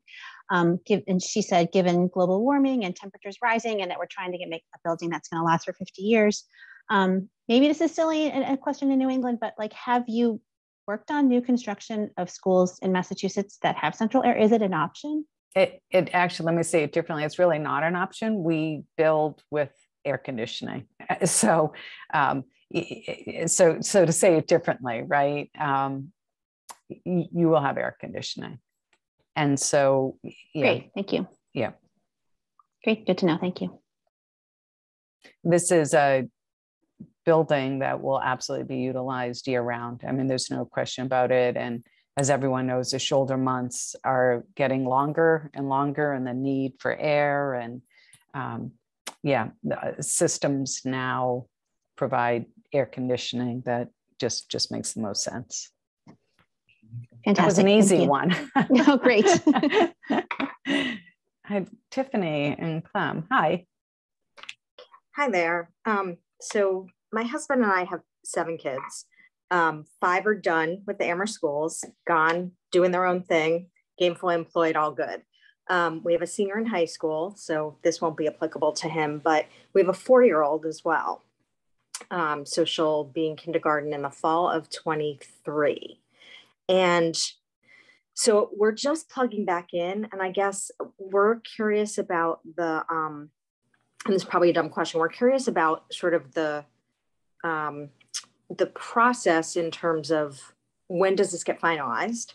So how, how do all the design ideas come together and, and get finalized? And then um, our other question was, as design ideas are proposed, are there also financials to match those design ideas? Not so much for the build, that's not our main concern, but again, having had kids already go all the way through, our concern is maintenance and being able to have those costs built into town budget for, for example, the beautiful idea of having display of electronic work that children are doing because they do so much of it now in built-in screens and walls as you enter a beautiful building.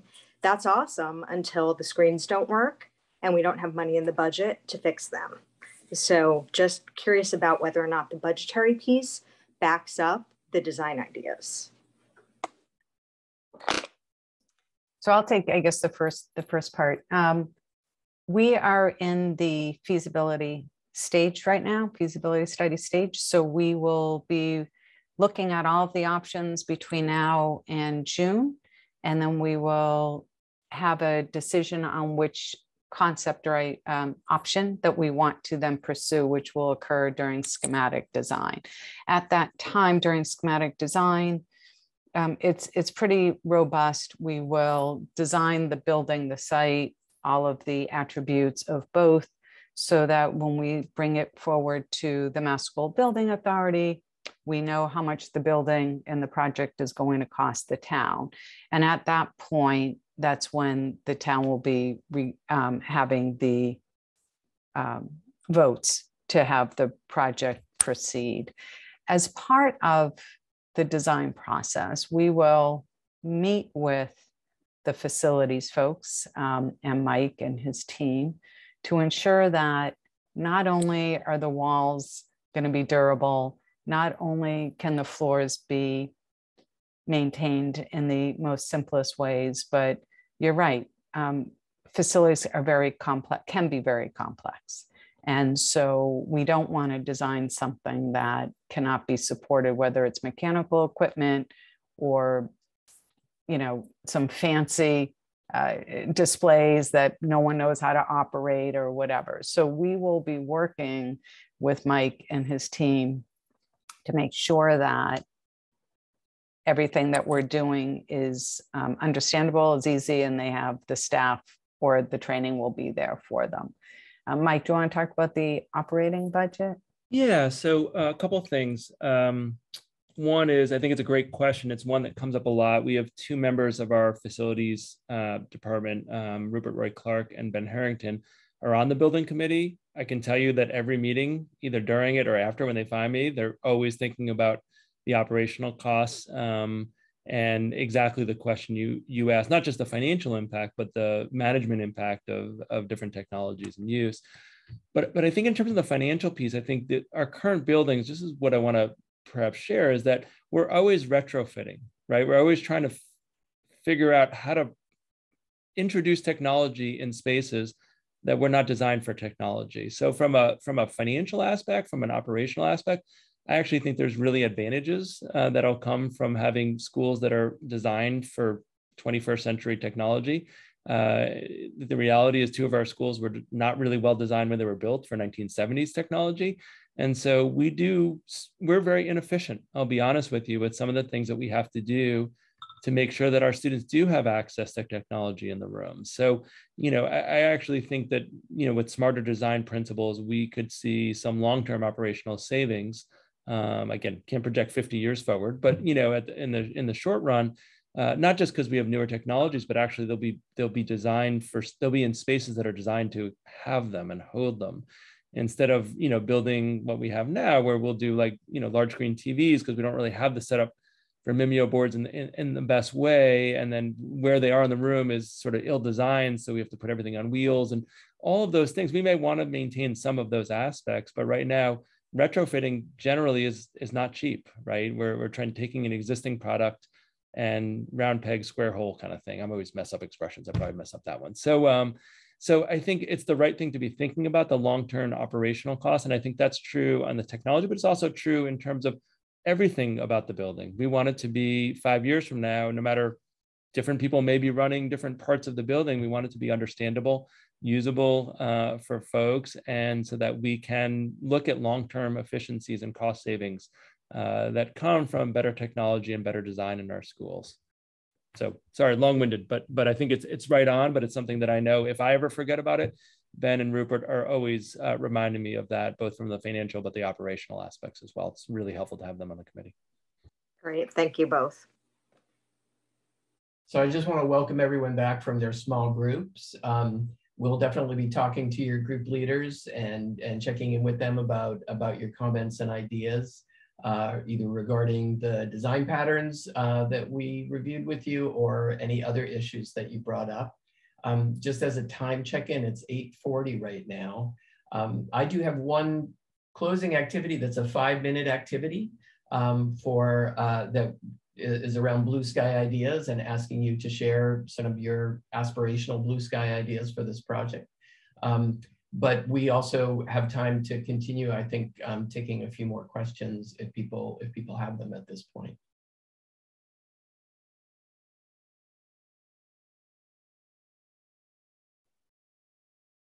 I guess, um, David, I would just like to say that we have another I think you mentioned at the very beginning that we do have another uh, educational visioning workshop, but we also have a community forum that won't be focused as much on the educational aspects, but on the overall project, talking about um, what the criteria are and your priorities are for the overall project. We'll be talking about sustainability and what we've learned to date on both buildings and both sites. So that is February 3rd, uh, if anyone wants to join us. And I think all of that information is on the project website. And that's, and that's from 6.30 to 9. Correct. February 3rd. Yep. Hmm. Yeah. Tony, you had your, your hand up? Yeah, just uh, before we move off the, the educational aspect, you showed some really great things about Innovation Hub, STEM, STEAM rooms, and you mentioned how the MSBA Space Summary includes uh, like a science engineering tech room. Mm-hmm. Has there been some thought into how that builds into the schedule? So, right now, as you probably are well aware, the students have 40 minutes of five different specials one day a week. One of them is technology. Is the idea that that would be replaced by this innovation hub, makerspace, science, STEM, or would it be part of library class, or would it be an addition to the schedule? And if so, what would it replace? how, how does that fit into the the actual oh, day of, a, of the students thanks mike yeah, I mean, uh, you certainly can jump in, but I know from talking to other superintendents, different schools have used it differently. Some schools use it as sort of a science lab that, particularly at the upper grade levels, but not exclusively, students kind of are able to do different kind of science and technology lessons that aren't necessarily possible in traditional classroom settings. Some use it uh, more as you describe as kind of where technology and that that specials class meets. And i've talked to some superintendents where it's a hybrid where it is a multi-use space where there sometimes students might go there for specials but it's also available at certain times a day for classroom teachers who want to get more involved in their stem curriculum uh, because of the nature of what's in the room. So i think the sky's the limit uh, and i think it, it's going to be a conversation with our talented staff about what makes sense over time um, but David, you know, and Donna, you certainly can jump in. I just know it's a, it's a conversation I've certainly had with other folks who have been through the MSBA process. Yeah. Well, I would just say, um, you know, to Michael's point that we're designing a building that's going to last for decades to come. We don't know how things are going to evolve. So um, certainly having that kind of larger space that has um, furniture that allows for some real hands-on work and project-based delivery is, is, is something that a lot of schools find attractive. And they may not initially know how they're going to fit it into their schedule. Um, but the other thing I wanted to say is that we're looking at classrooms themselves as being like maker spaces, maker classrooms.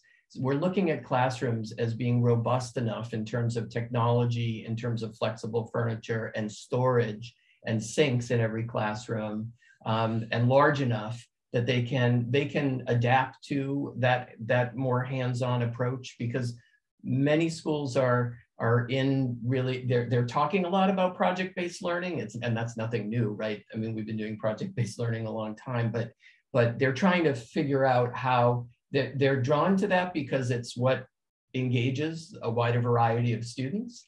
And um, and it's also what connects to their ideas about future ready learning goals. But they haven't necessarily figured out how to uh, how they're implementing it within their school. They're at all different places let's just say um, so we want to make sure that the classrooms themselves lend themselves to that kind of delivery um, and the spaces in between. It's really, it's really looking at trying to maximize um, the, uh, the looking at scenario planning in such a way that, that many spaces can become, um, can adapt to delivery of something like a, like a, like a STEM or a STEAM program.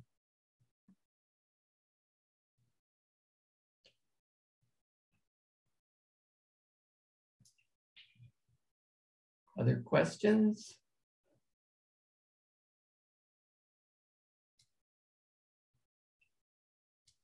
I know it's been a long day for uh, for for all of us. Um, if there are no other questions at this point, we could move into uh, just a, a, closing activity. Um, does that sound good? All right. Uh, I'm going to share my screen here one more time. So um, this is a, a, sort of a brainstorm for what your blue sky ideas are for you know the school, for the sort of uh, amenities within it, qualities of the school.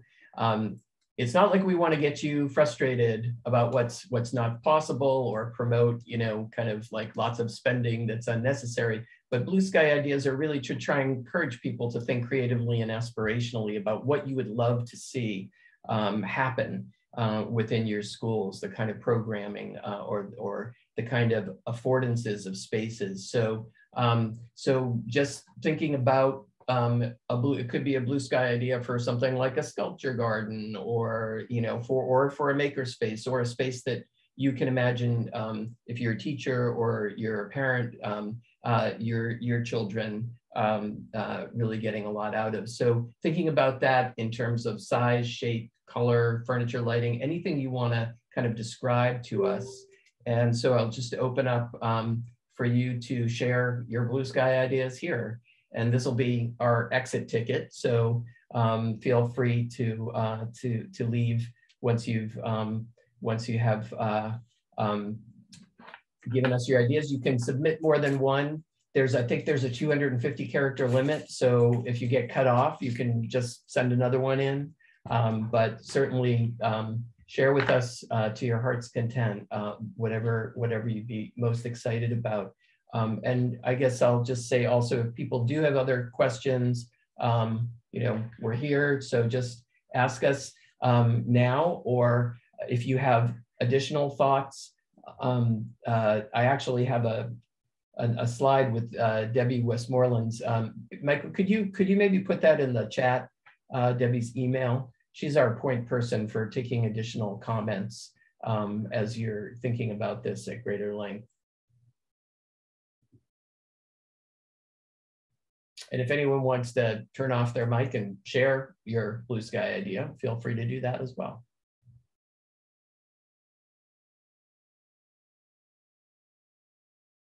And for those people that are uh, leaving, we really appreciate you taking the time to be with us and we'll look forward to uh, future, future meetings and carrying on the conversation.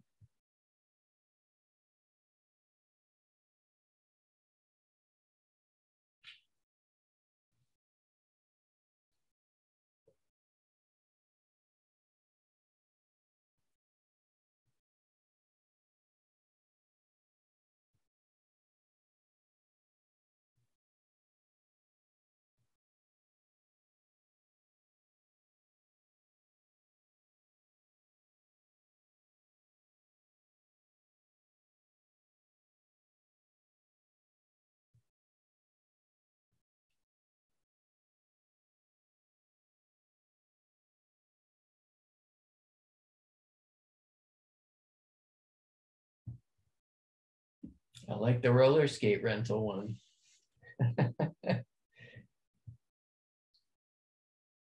no shortage of ideas here. And really nothing that looks too out of out of out of the realm of possibility.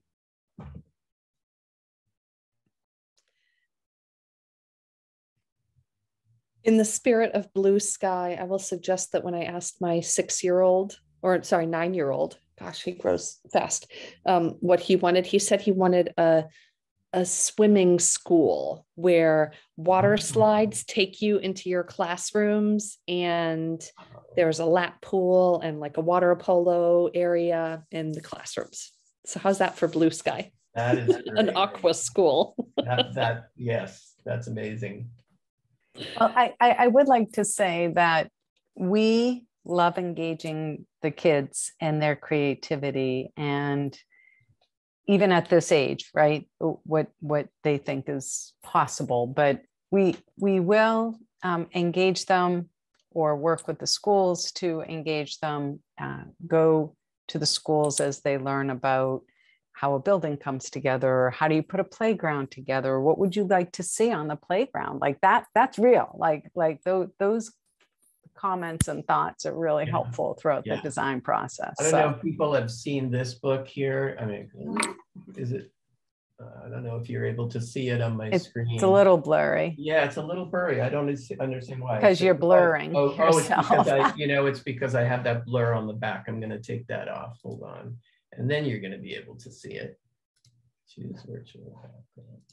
Okay, so here we go. If I built a school, this is a great book for kids to be thinking about all, you know, uh, fantasizing about what they'd like to see in a school, but also engaging them in a conversation about what are the things that we need to be thinking about. And they have great, great feedback. Anastasia says we love the book. Oh, yes. Yes, Anastasia says you love that book. That's great. All right. Well, we're going to be putting all these together um, as a set of consolidated notes uh, that connect also to um, other conversations, the continuing conversation that we're having. Uh, we're going to make it available on the project website. And um, again, thank you very much for, for coming. Thank you.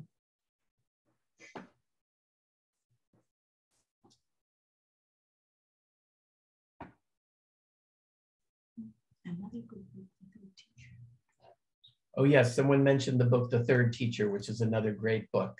Yeah, I really like it. Mike. Yeah, I can hold it up. Yeah, it's yeah. It's I, really I got it on my back on my bookshelf right back here too. Yeah, yeah, yeah. But it's uh, every now and then I just pull it out because it just makes me think a little bit differently about uh, where things can be, even in our current context. But it's um, it's yeah. the third teacher, seventy nine ways you can use design to transform teaching and learning. Um, but really neat images. It gets to some of the comments that were before about you know there's a section describing some special needs and accessibility, um, all sorts of play. You know, there was no, no, water slides that I saw, but there were um, slides and different play activities and, and ways to get around the building. So uh, it's a fun read if anyone's interested. And, you know, I have a copy. If anyone wants to borrow it, they're welcome to just reach out to me. Happy to lend it out. Thanks, Mike. All right. Night, everyone. All right. Everyone. Well, night, everyone. See you all. Good night, everyone. Thank night. you.